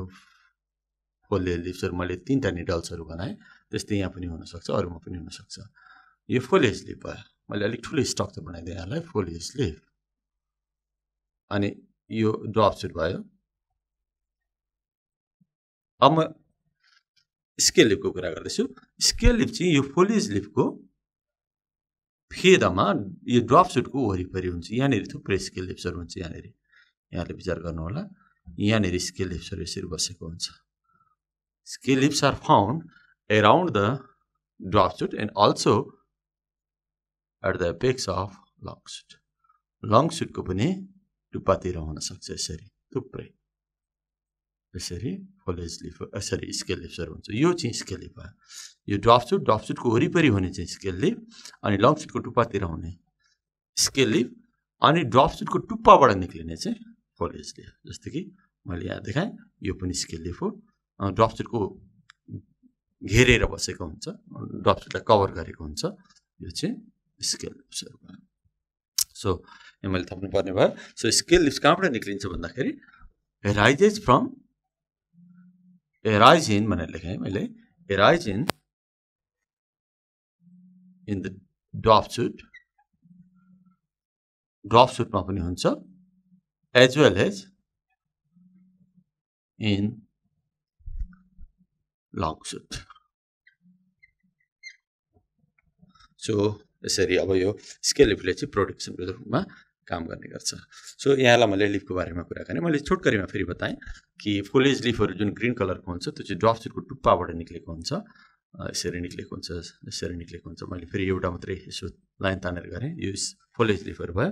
अनि स्केल लिफ चाहिँ ड्रप सुटको फेदमा यहाँनिर हुन्छ र अनि लङ सुटको डुप्पातिर पनि निक्लिन्छ। तर फेदातिर निक्लेको चाहिँ खस्दै खस्दै गइरहेको हुन्छ। यहाँ पनि सुरुमा यतातिर निक्लेको थियो। यहाँको स्केल लिफहरू चाहिँ खस्छु टुप्पातिर पलाउँदै गइराखेको हुन्छ। So this is about the dimorphic leaf of Pinus अब म यहाँहरूलाई थोरै रिप्रोडक्टिभ स्ट्रक्चरको बारेमा आइडिया दिन्छु। अब म पाइनसको लिफको कुरा गर्दै थिएँ कि पाइनसको फोलियस लिफको आधारमा पाइनसको स्पेसिसहरू डिटरमाइन भएको हुन्छ। नेपालमा पाइने दुईवटा स्पेसिसहरू पाइनसको स्पेसिसहरूको नामहरू यहाँलाई बताउँछु र त्यो कसरी आइडेन्टिफाई गर्ने त्यसको कुरा पनि बताउँछु। त्यो नेपालमा बढी पाइने पाइनसको स्पेसिसहरूमा चाहिँ एउटा छ पाइनस रक्सबर्गी भन्ने छ। पाइनस रक्सबर्गी भन्ने छ अनि अर्को जात भनेको चाहिँ पाइनस वालिचिएना भन्ने छ। वालिचिएना यो दुईवटा पाइनस रक्सबर्गी र पाइनस वालिचिएना यो दुईवटा जातको पाइनसको नेपालमा धेरै पाइन्छ। यो पाइनस रक्सबर्गीमा चाहिँ हेऱ्यौँ भने हामी त्यसको अघि मैले कुरा गर्दै थिएँ निडल्स ड्वाफ माथि निडल हेऱ्यो भने तिनवटा निडल्सहरू हुन्छ। थ्री निडल्सहरू हुन्छ। अनिखेरि पाइनस वाली चेनामा हेऱ्यो भने चाहिँ फाइभ निडल्सहरू हुन्छ। फाइभ एनइडिएलएस फाइभ निडल्सहरू हुन्छ जस्तो कि मैले यहाँ बताएँ कि यो यो सपोज यो लङ सुट भयो यो ड्वाफ सुट भयो सपोज अनि यहाँ तिनवटा निडल्स यसरी निक्लेको देखियो भने त्यो मोस्टली के हुनसक्छ पाइनस रक्स वर्गी हुनसक्छ। थ्री निडल्स भयो भने र फाइभ निडल्स भयो भने चाहिँ जस्तो कि यो सपोज यो ड्रप सुट भयो यहाँनिर थ्री फोर फाइभ पाँचवटा निडल भएको देख्यो भने चाहिँ पाइनेस वाली चिएन हुन्छ। सो यसरी हामी नेपालमा पाइने दुईवटा पाइनेसको भेराइटिज कुन कुन जातको कुन कुन जातको भनेर हामी छुट्याउन सक्छौँ। तिनवटा निडल भयो भने पाइनस रक्सबर्गी पाँचवटा निडल भयो भने पाइनस वाली चिएन सो यो पाइनस रक्सबर्गी चाहिँ अलिकति लो एल्टिच्युडमा पाइन्छ। दुइटै अलिकति टेम्परेरी जोनमा पाइने हो। त्यसमा पनि अलिकति लो एल्टिच्युडमा गयो भने जस्तो कि हामीले यसैलाई आधार मानेर पनि गर्न सक्छौँ। रफली थ्री थाउजन्ड मिटर जतिको हाइटसम्म गयौँ भने हामी यो यो भेराइटिजहरू पाउँछौँ। यो पाउँदै नपाउने चाहिँ होइन फेरि। हामीले यो थ्री लेखेको हुनाले मैले त्यसलाई आधार बनाएर यहाँलाई बताइरहेको छु। सो एराउन्ड थ्री थाउजन्ड मिटरसम्म गयो भने यो जातको बढी पाइन्छ यो कम पाइन्छ अनि थ्री थाउजन्ड मिटरभन्दा माथितिर लागिसकेपछि एकदम हाई एल्टिच्युडमा गयो भने त्यतातिर पनि पाइनेसको फरेस्ट पाइयो भने त्यसमा चाहिँ बढी फाइभवटा निडल्स भएको यो जातको पाइनेस वाली चेना खालको पाइनेसको भेराइटिजहरू पाइन्छ। तर यो ठ्याक्कै त्यस्तै हुनुपर्छ। माथि एकदम हाई एल्टिच्युडमा यो हुँदै हुँदैन भन्ने पनि होइन लो एल्टिच्युडमा यो हुँदै हुँदैन भन्ने पनि होइन। सो तर कुन बढी कहाँ पाइन्छ भन्ने कुरा मैले यहाँलाई थोरै कुरा बताएँ। सो यसरी नेपालमा दुई खालको पाइनेसको भेराइटिजहरू बढी मात्रामा पाइन्छ। अरू धेरै जातहरू पनि हुन्छ। थुप्रै खालका पाइनेसहरू छन् नेपालमा यो मात्रै होइन। तर मैले यो दुइटाको नाम चाहिँ यहाँहरूलाई सम्झाएँ। अब म थुप्रै रिप्रोडक्टिभ स्ट्रक्चरको बारेमा कुरा गर्छु।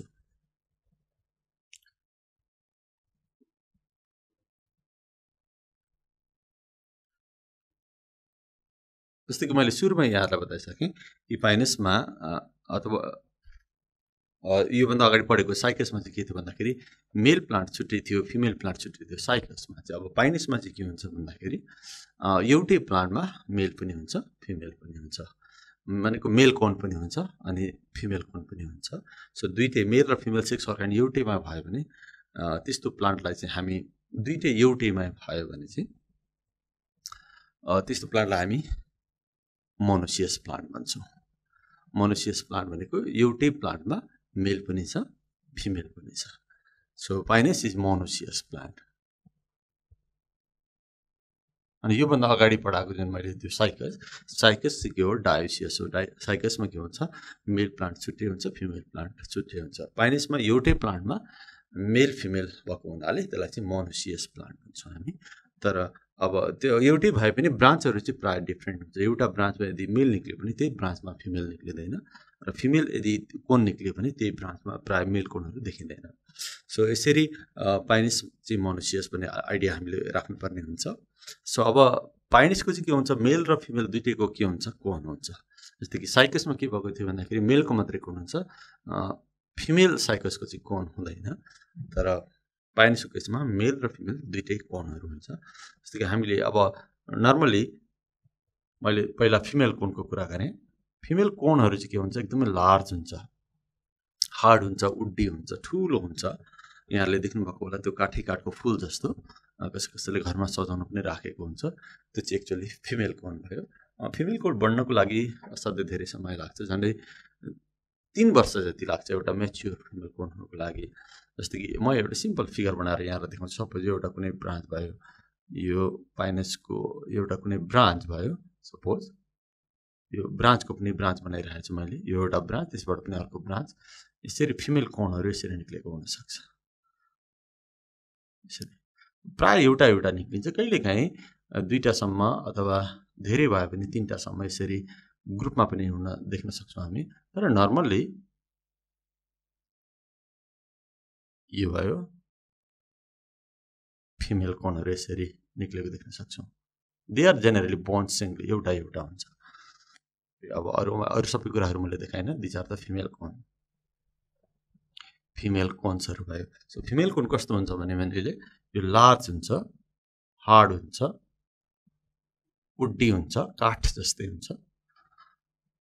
एन्ड बोन सिङ्गली मोस्टली है त बोन मैले देखाउन दुइटा देखाए पनि they borne singly the single यसरी हुन्छ। र यो अब फिमेल कोनलाई अलिकति ठुलो बनाएर हेऱ्यो भने त्यो कोनमा एक्ज्याक्टली अब यो सबै कोन बनाउन त यहाँ अलिकति टाइम लाग्छ। सपोज यो फिमेल कोनको हामीले अब ठ्याक्कै यस्तो त हुँदैन। मैले जस्तो आउटलाइन डायग्रामेटिक स्ट्रक्चर जस्तो मात्रै बनाइरहेको छु। यस्तो खालको स्ट्रक्चर देख्छौँ हामी। यहाँनिर फिमेल कोनलाई हेऱ्यो भने चाहिँ।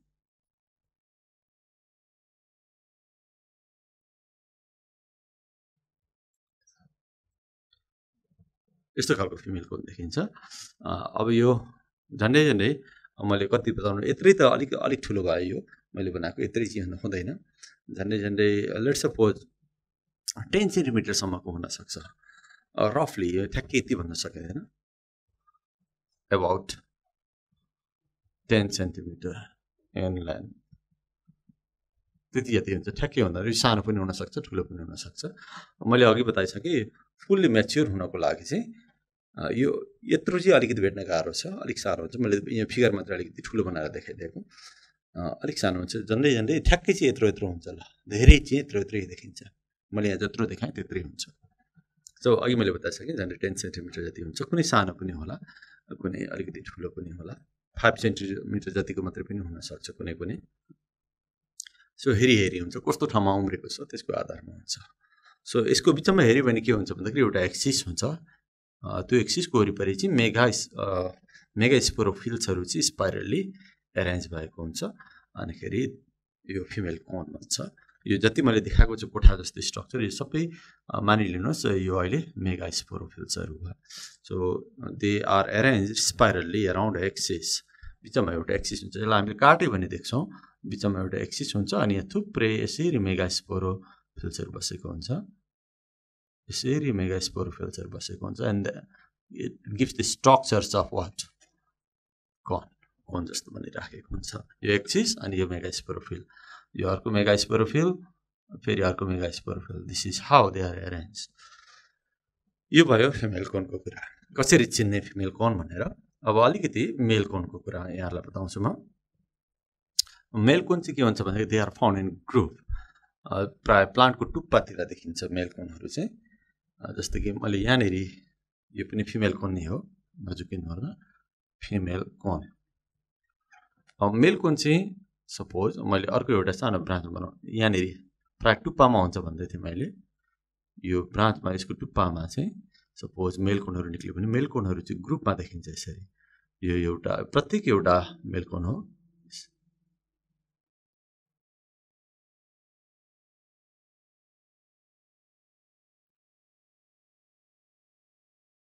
निकै ठुलो ग्रुप बनाएर बसिरहेको हुन्छ यिनीहरू।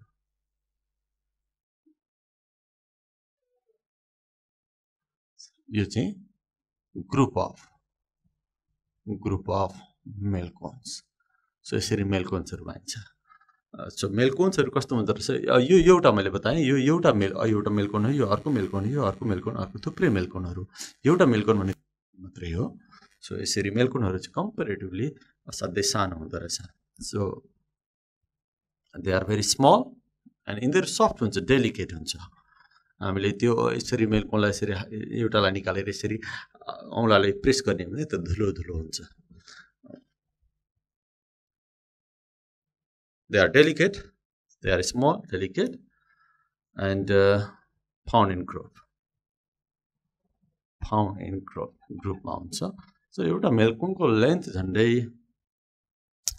अब राखौँ टु सेन्टिमिटर जति हुन्छ। टु सेन्टिमिटर म्याक्सिमम् त्यो पनि नहुनसक्छ राखौँ टु सेन्टिमिटर जति हुन्छ। टु सेन्टिमिटर लङ रफली ठ्याक्कै यति भन्न सकिँदैन कहिलेकाहीँ। थोरै बढी होला कहिलेकाहीँ थोरै कम होला। सो त्यति सानो हुन्छ झन्डै यत्रो हुन्छ। मैले यहाँ जत्रो देखाएँ त्यत्रै हुन्छ। दुई सेन्टिमिटर जति लामो हुन्छ। तिनीहरू ग्रुपमा हुन्छ डेलिकेट हुन्छ सफ्ट हुन्छ। तर त्यसभित्र पनि हेऱ्यो भने एउटा मेलकोनलाई जस्तो कि मैले एउटा मेलकोन बनाएँ भने यस्तो खालको हुन्छ। अनि अब यहाँभित्र पनि एक्चुली के हुन्छ कोनहरू हुन्छ के अरे एक्सिस हुन्छ अनिखेरि वरिपरि माइक्रोस्पोरोफिल्सहरू हुन्छ। सो यो मेलकोनलाई पनि काटेर हामीले हेऱ्यौँ भने एक्ज्याक्टली यस्तै स्ट्रक्चर देख्छौँ एक्सिस देख्छौँ अनि त्यसको वरिपरि यस्तै स्ट्रक्चर देख्छौँ। त्यसलाई चाहिँ हामीले माइक्रो स्पोरोफिल भन्नुपर्छ। जस्तो कि यो यो मैले बनाएको चाहिँ के हो? मेगा स्पोरोफिल भयो मेगा स्पोरोफिल्स यो मेगा स्पोरोफिलमा चाहिँ ओभिल्सहरू हुन्छ। यहाँ यो साइडमा यो साइडमा ओभिल्सहरू हुन्छ यसरी ओभिल्सहरू बसेको हुन्छ। माथितिर फेदमा यो एक्सिसतिर यसरी ओभिल्सहरू बसेको हुन्छ।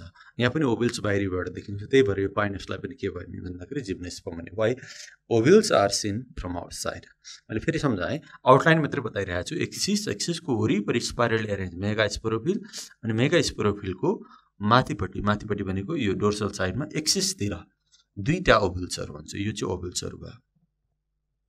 मैले अलिकति थोरै यहाँ फेरि स्ट्रक्चरलाई अलिकति इन्लार्ज गर्ने। तर अब जस्तो कि मेल कोनलाई काट्यो भने पनि यस्तै हुन्छ भन्दै थिएँ म। जस्तो कि मेन कोनलाई काट्यो भने त्यहाँ त्यहाँ पनि एउटा एक्सिस हुन्छ। यो एउटा एक्सिस भयो। अनि थुप्रै यहाँ पनि यस्तो खालको स्ट्रक्चरहरू देख्छौँ जस जुन मिलेर मेल कोन बनेको हुन्छ तर सानो हुन्छ। अनि यसको चाहिँ फेदातिर हेऱ्यो भने चाहिँ यसको फेदातिर चाहिँ एउटा पकेट जस्तो हुन्छ। त्यसलाई हामी माइक्रोस्पोरेन्जियम भन्छौँ। यो स्ट्रक्चरहरू यो सबै चाहिँ के हो भन्दाखेरि माइक्रोस्पोरोफिल माइक्रोस्पोरोफिल्सहरू भयो।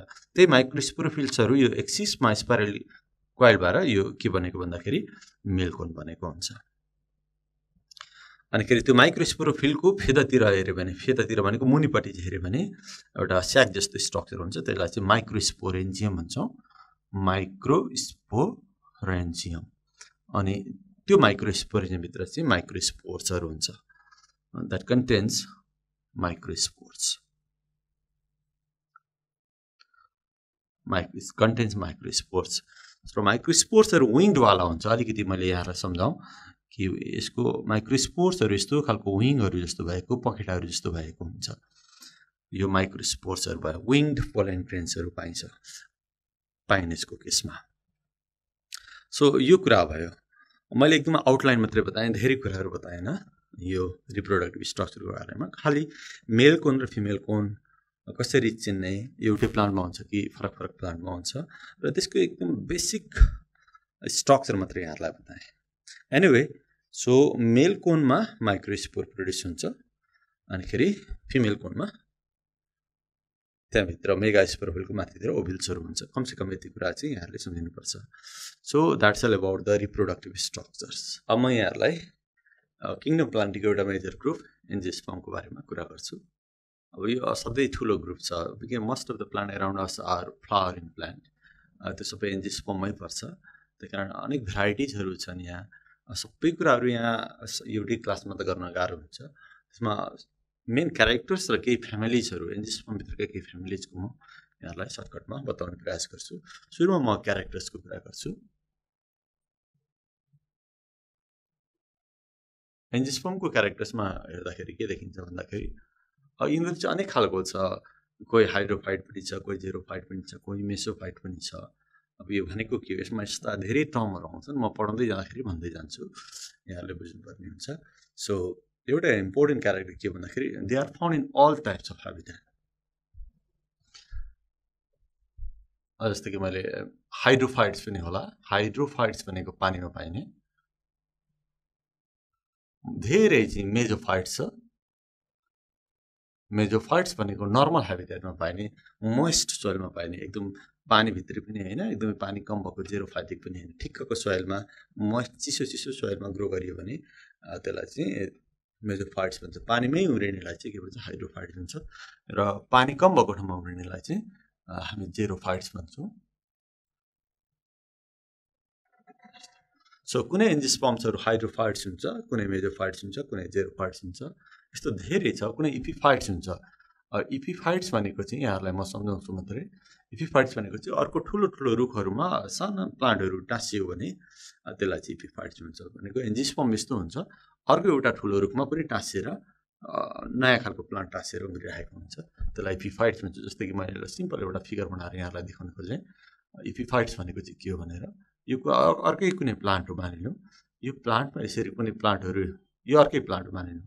यो एउटा प्लान्ट हो अहिले निक्लेको चाहिँ कुनै अर्को एउटा प्लान्ट हो सपोज। यो प्लान्टलाई चाहिँ हामी के भन्छौँ? इपिफाइट्स भन्छौँ। Which grows on the branches of other trees अर्को रुखको हाँगामा अथवा यस्तो कर्नरमा अथवा यस्तो सर्फेसमा टाँसिएर उम्रिराखेको प्लान्टलाई चाहिँ हामी इफिफाइट्स भन्छौँ। सो जेरोफाइट भनेको जहाँ पानी कम छ त्यस्तो ठाउँमा उम्रिने जस्तो डेजर्टमा उम्रिने प्लान्टहरूलाई जेरोफाइट्स भन्छौँ। मोइस्चरमा उम्रिनेलाई मेजोफाइट्स भन्छौँ पानीमा हुनेलाई हाइड्रोफाइट्स भन्छ। सो एन्जिस्पम्सहरू के हुन्छ? अनेक खालको भए हुन्छ। Some are hydrophyte some are xerophyte some are epiphyte but majority are mesophytes majority अनि कोही एन्युअल हुन्छ एक वर्ष बाँच्ने कोही बाइनियल हुन्छ। बिआई बाइनियल्स हुन्छ। दुई वर्षमा लाइफ साइकल कम्प्लिट हुने। कोही पेरिनियल हुन्छ। पेरिनियल्स भनेको धेरै वर्षसम्म बाँच्ने प्लान्टहरूलाई पेरिनियल भन्छ। एक वर्षसम्म मात्रै बाँच्छ अथवा केही समय केही सिजन मात्रै बाँच्छ भने त्यसलाई पनि एन्युअली भन्नु मिल्छ। सो बाइडियल भनेको झन्डै दुई वर्ष जति बाँच्ने अनि धेरै बाँच्नेलाई चाहिँ perennial so some एन्जिसमा annual some बेरि बाइनियल सम आर पेरिनियल यस्तो हुन्छ। सो यिनीहरू डोमिनेन्ट भेजिटेसन भनेर पनि मैले लेखेँ एउटा। डोमिनेन्ट भेजिटेसन अहिले संसारमा सबैभन्दा धेरै के पाइन्छ? एल्गी फन्जाइ ब्राफाइटा टेरिडोफाइटा भनौँ भने धेरै चाहिँ। एन्जिस्पमहरू पाइन्छ। So these are the dominant vegetation in the world अब कुनै जमानामा फनले डोमिनेट गरेको थियो वर्ल्डलाई त्यस पछाडि कुनै पछाडि आएर जिम्निस्पमले त्यसलाई रिप्लेस गर्यो फनहरूको नम्बर घट्यो हुन त फन अझै पनि पाइन्छ। अनि फेरि जिम्निस्पमलाई रिप्लेस गरेर अहिले एन्जिस्पमले डोमिनेट गरेको छ। यस्तो भइरहेको छ। सो यो सबै क्यारेक्टर्सहरूमा मैले लेखिरहेको छु। So these are the flowering plants एउटा इम्पोर्टेन्ट मोस्ट इम्पोर्टेन्ट छ the flowering plant with closed seed हामी यसलाई जिम्नेसियमसँग कम्पेयर गर्न सक्छौँ। जिम्नेसियम चाहिँ के भयो? फ्लावरिङ प्लान्ट नै भयो बट विदाउट क्लोज सेट भनेको सिड्स आर्नेखेर यो एन्जिस्पममा के हुन्छ? फ्लावरहरू हुन्छ but we cannot see seeds from outside so these are the closed seed भयो। So these are vascular plants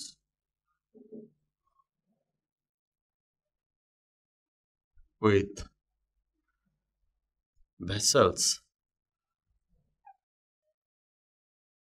And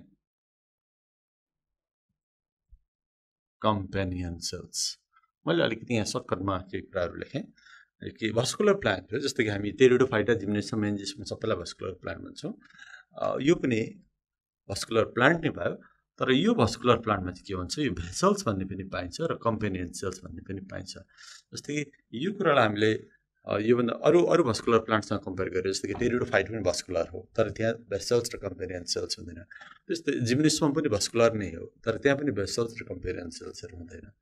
so एन्जिस्पोम चाहिँ यस्तो खालको भस्कुलर प्लान्ट हो जहाँ जाइलममा एउटा भेसल्स भन्ने इलिमेन्ट हुन्छ र फ्लोइममा कम्पेनियन सेल्स भन्ने हुन्छ which are absent in other vascular plant like pteridophytes and gymnosperms. So this is very important characters of angiosperms.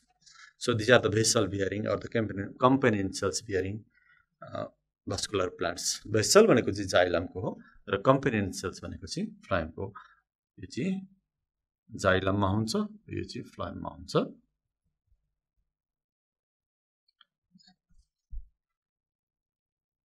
अब क्यारेक्टर त असाध्यै धेरै छ। जस्तै कि यसको इम्पोर्टेन्ट क्यारेक्टर अरू कहीँ नपाइने खालि एनजिएसमा मात्रै पाइने एउटा इम्पोर्टेन्ट क्यारेक्टर के हो? डबल फर्टिलाइजेसन हुन्छ।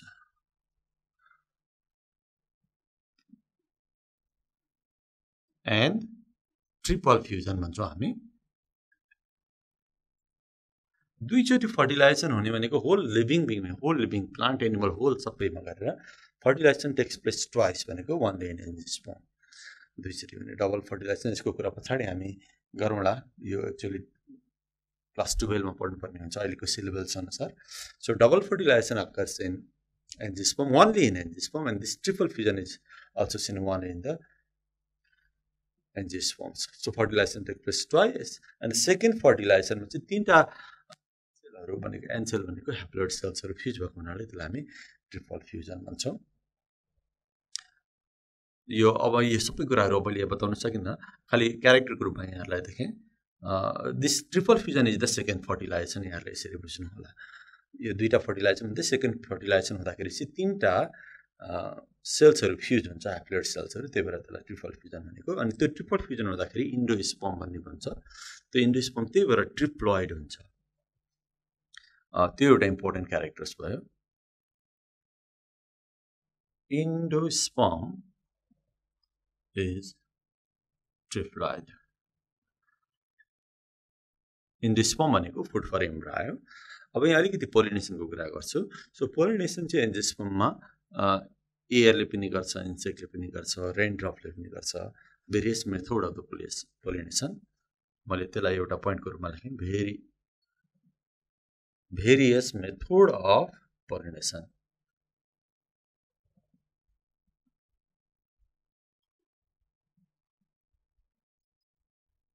भनेको एयरले पनि गर्छ विन्डले पनि गर्छ। भनेको विन्ड अथवा एयरले अथवा एनिमलले पनि गर्छ अथवा वाटर ड्रपले पनि गर्छ। यो यसलाई हामी यो क्यारेक्टरलाई हामी जिम्निसमसँग कम्पेयर गरेर हेऱ्यो भने जिम्निसममा चाहिँ विन्ड अथवा एयरले मात्रै गर्छ। यहाँ चाहिँ इन्सेक्टहरूले पनि गर्छ अरू एनिमलहरूले पनि गर्छ। अब यसको पनि धेरै भेरिएसन त छ। अहिले सर्टकटमा जस्तै कि पोलिनेसन हुँदाखेरि यहाँ चाहिँ के हुन्छ? इन्डाइरेक्ट पोलिनेसन हुन्छ। इन्डाइरेक्ट पोलिनेसन हुन्छ। जस्तो कि पोलिनेसन भनेको यहाँलाई थाहा छ भने पोलिन ग्रेन्सहरू चाहिँ यन्त्रबाट निक्लिन्छ and falls on the surface of स्टिकमा यसरी पोलिनेसन हुन्छ। इन्डाइरेक्ट पोलिनेसन भन्छ हामी त्यसलाई। जस्तो कि जिम्नेसियममा चाहिँ के हुन्छ? डाइरेक्ट पोलिनेसन हुन्छ। पोलिन ग्रेन्सहरू सिधै ओबिल्सको सर्फेसमा आएर बस्छ। त्यसरी पोलिनेसन भयो भने चाहिँ डाइरेक्ट त्यो चाहिँ जिम्नेस्पोम हुन्छ यहाँ चाहिँ ओभिलमा पोलिन ग्रेन्सहरू एकैचोटि पुग्दैन पहिला स्टिकमा आएको सर्फेसमा आएर बस्छ अनिखेरि बिस्तारै लास्टमा ओभिलमा पुग्छ। सो यसरी गयो भने this is call indirect pollination एउटा इम्पोर्टेन्ट क्यारेक्टर्स भयो। सो एन्जिस फर्मको सो अरू धेरै क्यारेक्टर्सहरू छ जस्तै कि रिप्रोडक्सनको कुरा गर्ने हो भने फेरि यहाँ पनि आउँछ।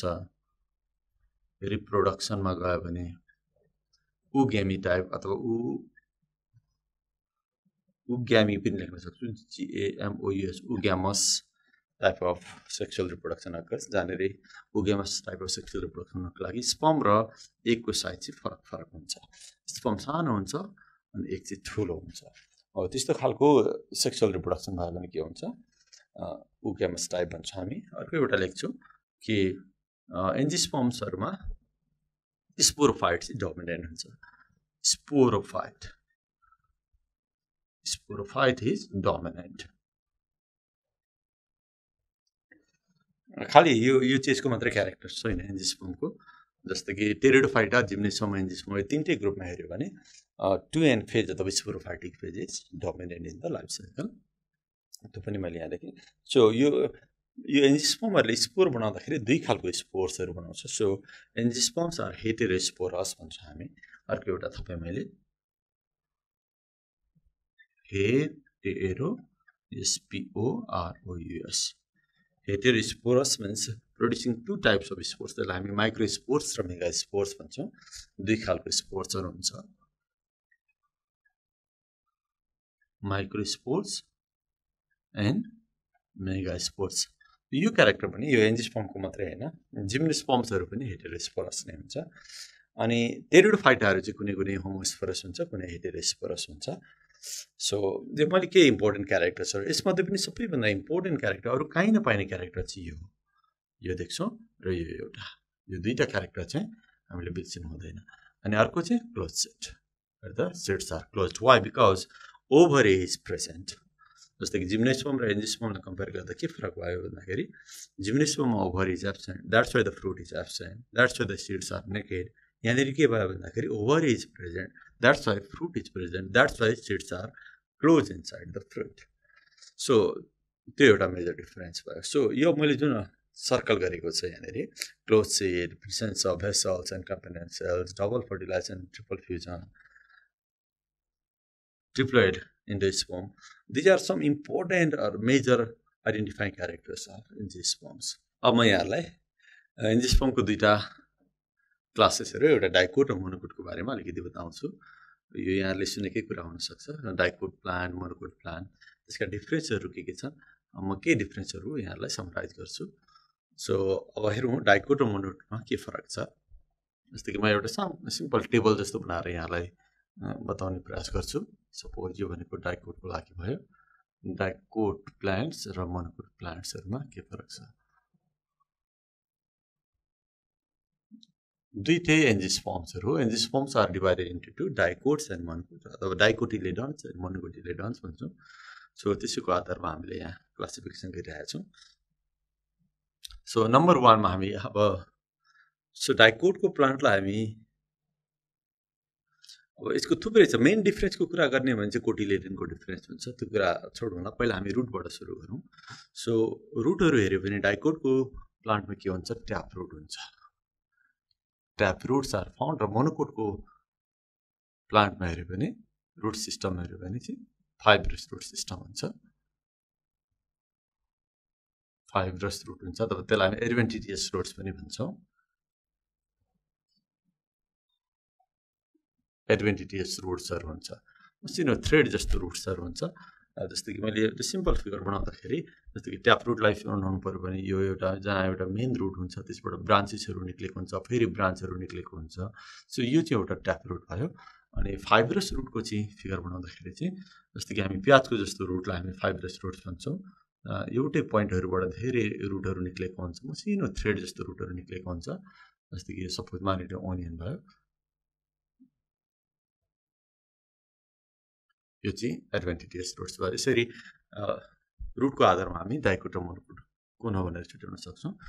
र अब यसलाई हामी इन्टरनल यसको एनाटमी हेऱ्यो भने पनि डिफ्रेन्स चाहिँ देख्छौँ हामी। सो बाहिरबाट त्यतिकै थाहा भयो यो ट्याप रुट भयो whether is primary root secondary root tertiary root यस्तो भयो भने ट्याप रुट भयो। त्यस्तो खालको प्राइमरी सेकेन्डरी टर्सियरी छैन भने त्यो चाहिँ फाइरस भयो।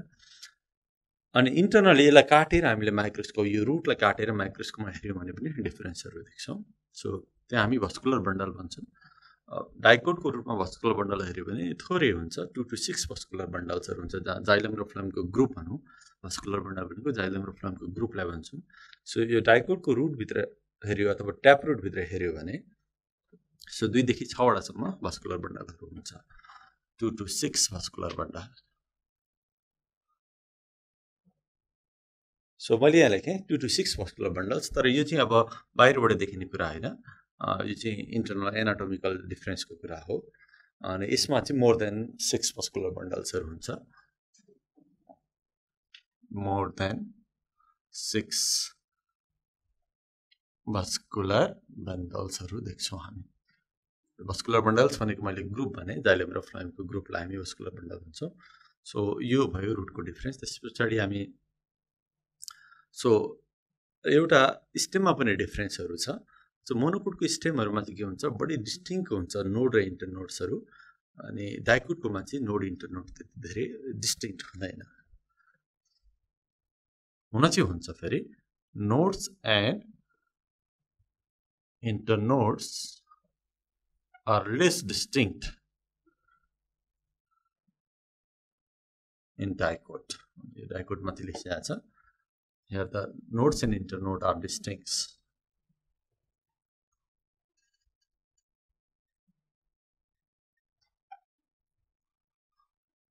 यहाँहरूलाई म बताउँ नोड इन्टरनोड भनेको के हो भनेर।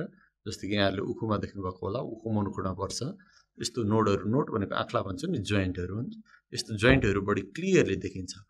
मनुकोटमा चाहिँ डाइकोटको प्लान्टको स्टेम हेऱ्यो भने चाहिँ त्यस्तो नोड इन्टरनोड हुन्छ तर they are not very much distinct यो भयो। स्टेमको एउटा कुरा। र स्टेममा पनि अलिकति भस्कुलर बन्डलहरूको एरेन्जमेन्टमा फरक पर्छ। यहाँनिर भस्कुलर बन्डल हेऱ्यो भने स्टेममा कि यिनीहरू रिङमा बसेको हुन्छ जाइलम फ्लेमहरू रिङमा बसेको हुन्छ। स्टेममा डाइकोटको अनि मोनोकोटको स्टेममा चाहिँ स्क्याटर हुन्छ। मैले त्यही कुरालाई यहाँ लेखेँ। मैले भिभी भनेको चाहिँ भस्कुलर बन्डल भने है। मैले फेरि यहाँनिर भस्कुलर बन्डल ल vascular bundles are arrange in ring रिङमा बसेको हुन्छ। यहाँ चाहिँ मोनोकोटमा चाहिँ भस्कुलर बन्डल्स स्क्याटर्ड हुन्छ।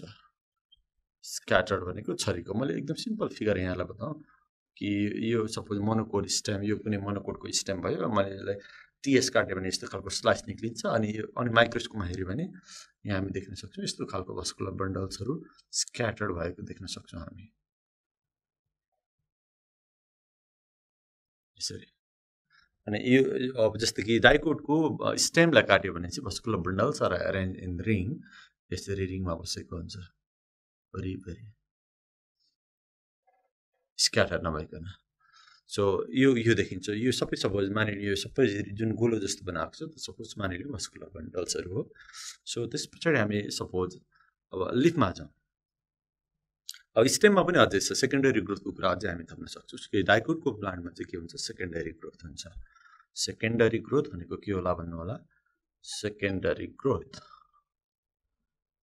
occurs secondary growth भनेको मोटाइ बढ्ने भनेको प्लान्ट जति म्याच्योर हुँदै जान्छ बुढो हुँदै जान्छ त्यसको मोटाइ पनि बढ्यो भने त्यो चाहिँ सेकेन्डरी ग्रोथ भयो भने लम्बाइ बढ्यो भने प्राइमेरी ग्रोथ मोटाइ बढ्यो भने सेकेन्डरी ग्रोथ सो अब डाइकोटको प्लान्टहरूको चाहिँ धेरै प्लान्टहरूको चाहिँ के हुन्छ?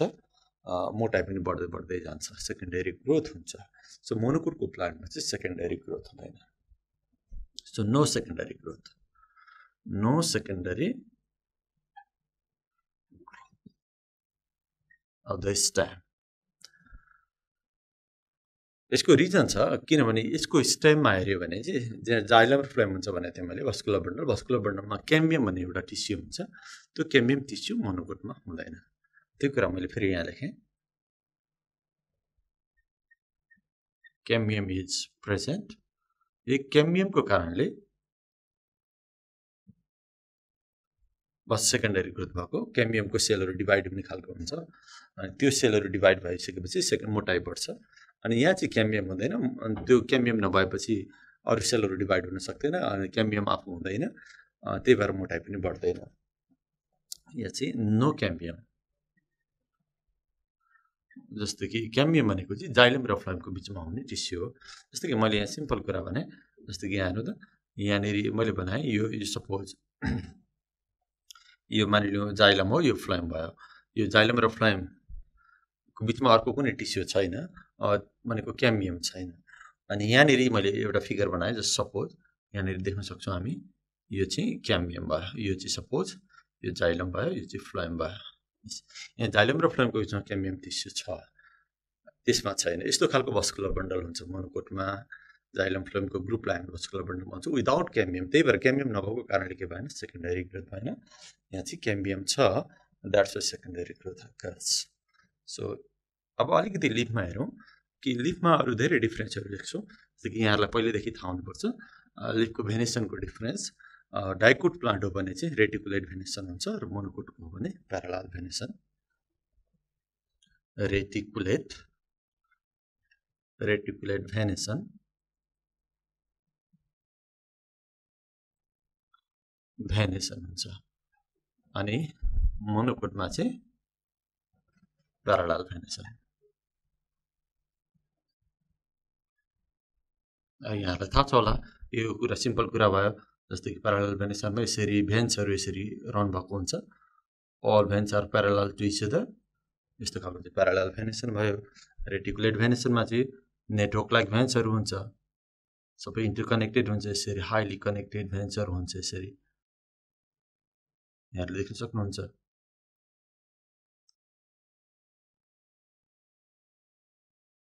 भेन्चर डिभाइड भएको हुन्छ। यो चाहिँ रेटिकुलेट भेनेसन भयो। So anyway this is on the very important identifying characters of dicot from outside morphological characters यो क्यारेक्टर्सको आधारमा हामी बाहिरबाट भन्न सक्छौँ यो डाइकोड प्लान्ट हो यो मोनोकोड हो त्यस्तै रुट हेरेर हामी यत्तिकै भन्न सक्छौँ डाइकोड हो कि मोनोकोड हो यो these are the characters which are very useful to identify. Any plants whether it is dicot or monocot morphologically बाहिरबाट हेरेर यत्तिकै पनि छुट्याउन सक्छौँ। जस्तै कि अब लिफको कुरा भयो अनि हामी यो डाइकोटको लिफलाई यो डाइकोट प्लान्टको लिफलाई डोर्सिभेन्ट्रल लिफ भन्छौँ। डोर्सिभेन्ट्रल भनेको चाहिँ त्यहाँ स्टोमाटा भन्ने हुन्छ सानो पालहरू हुन्छ लिफमा जसलाई स्टोमाटा भनिन्छ। सो डाइकोटको लिफमा चाहिँ धेरै लिफमा चाहिँ के हुन्छ मुनिपट्टिको लिफमा चाहिँ मुनिपट्टिको सर्फेसमा लिफको मुनिपट्टिको सर्फेसमा धेरै स्टोमाटा हुन्छ माथितिर कम हुन्छ। त्यस्तो लिफलाई हामी डोर्सी भेन्ट्रल लिफ भन्छौँ। सो डाइकोटको प्लान्टको लिफलाई हामी के भन्छौँ? Dorsiventral leaf. Leaf is present. More number of stomata are found on the lower side. अनिखेरि मोनोकोटको लिफलाई चाहिँ हामी आइसोबाइलिटेरल लिफ भन्छौँ।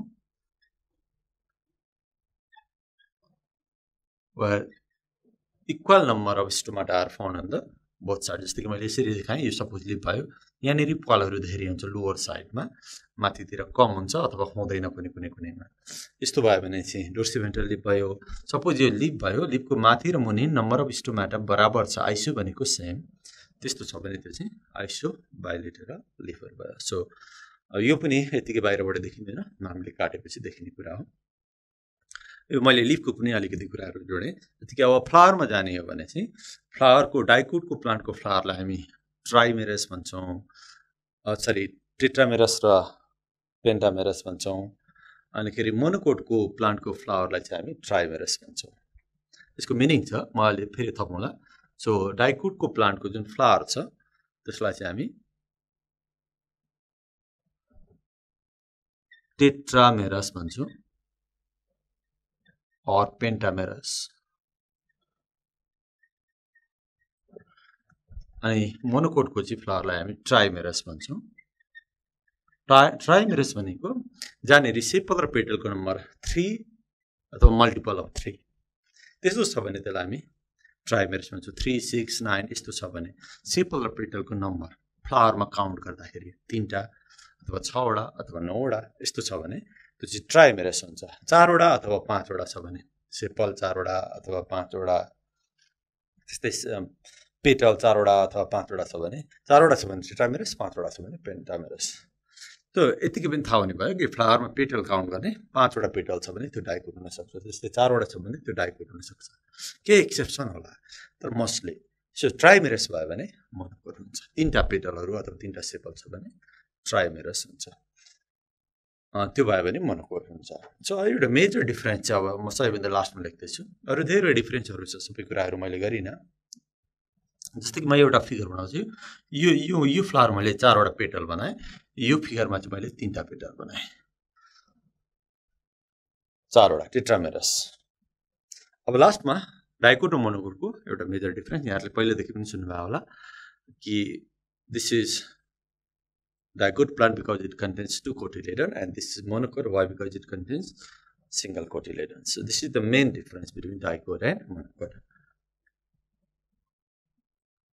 contains single cotyledon sorry यो डाइकोट भयो डाइकोटमा contains two cotyledons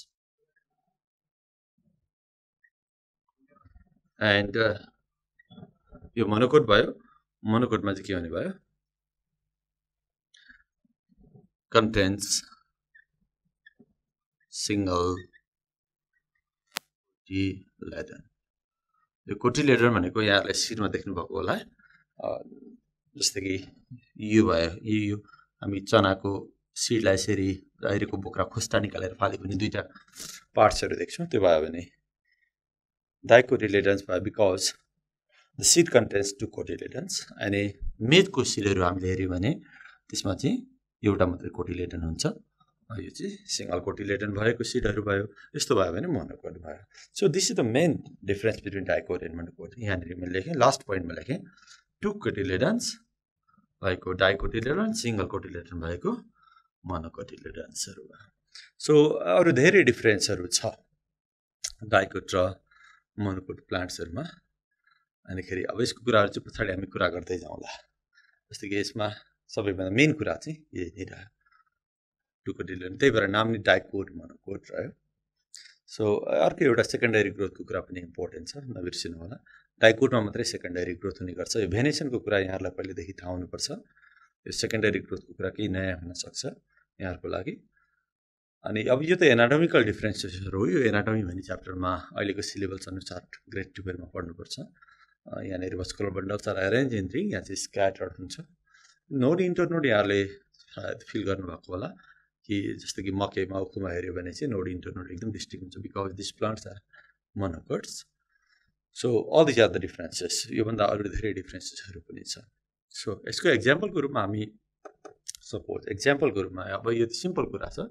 मैले यहाँ एक्जाम्पल भनेर यहाँनिर लेख्थेँ लास्टमा यहाँ थप्थेँ एक्जाम्पलको रूपमा हामी सपोज मस्टर्ड प्लान्टलाई लिन सक्छौँ। Mustard plant mango plant so many plants कति छन् कति एक्जाम्पल सो मोनोकोट प्लान्टको एक्जाम्पलको रूपमा लास्टमा मानिलिउँ राइसलाई लेखौँ अथवा मेजलाई जे लेखे पनि हुन्छ। मैले राइस भनेर लेख्थेँ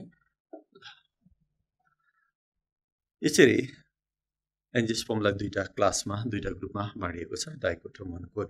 अब म यहाँहरूलाई अब यो भेजिटेटिभ स्ट्रक्चर मर्फोलोजीमा त असाध्यै धेरै कुराहरू छ। रुटको पनि अनेक भेराइटिजहरू छ अनेक मोडिफिकेसन छ टाइपहरू छ। स्टेमको लिफको फ्लावरको पेटलको एन्ड्रोसियम गाइनोसियम सिड ओभरी सबैको अनेक भेरिएसन छ जिस्ममा अनेक खालको छ। असाध्यै धेरै लामो त्यसलाई हामी ट्याक्सोनोमी अन्तर्गत पढ्नुपर्ने हुन्छ।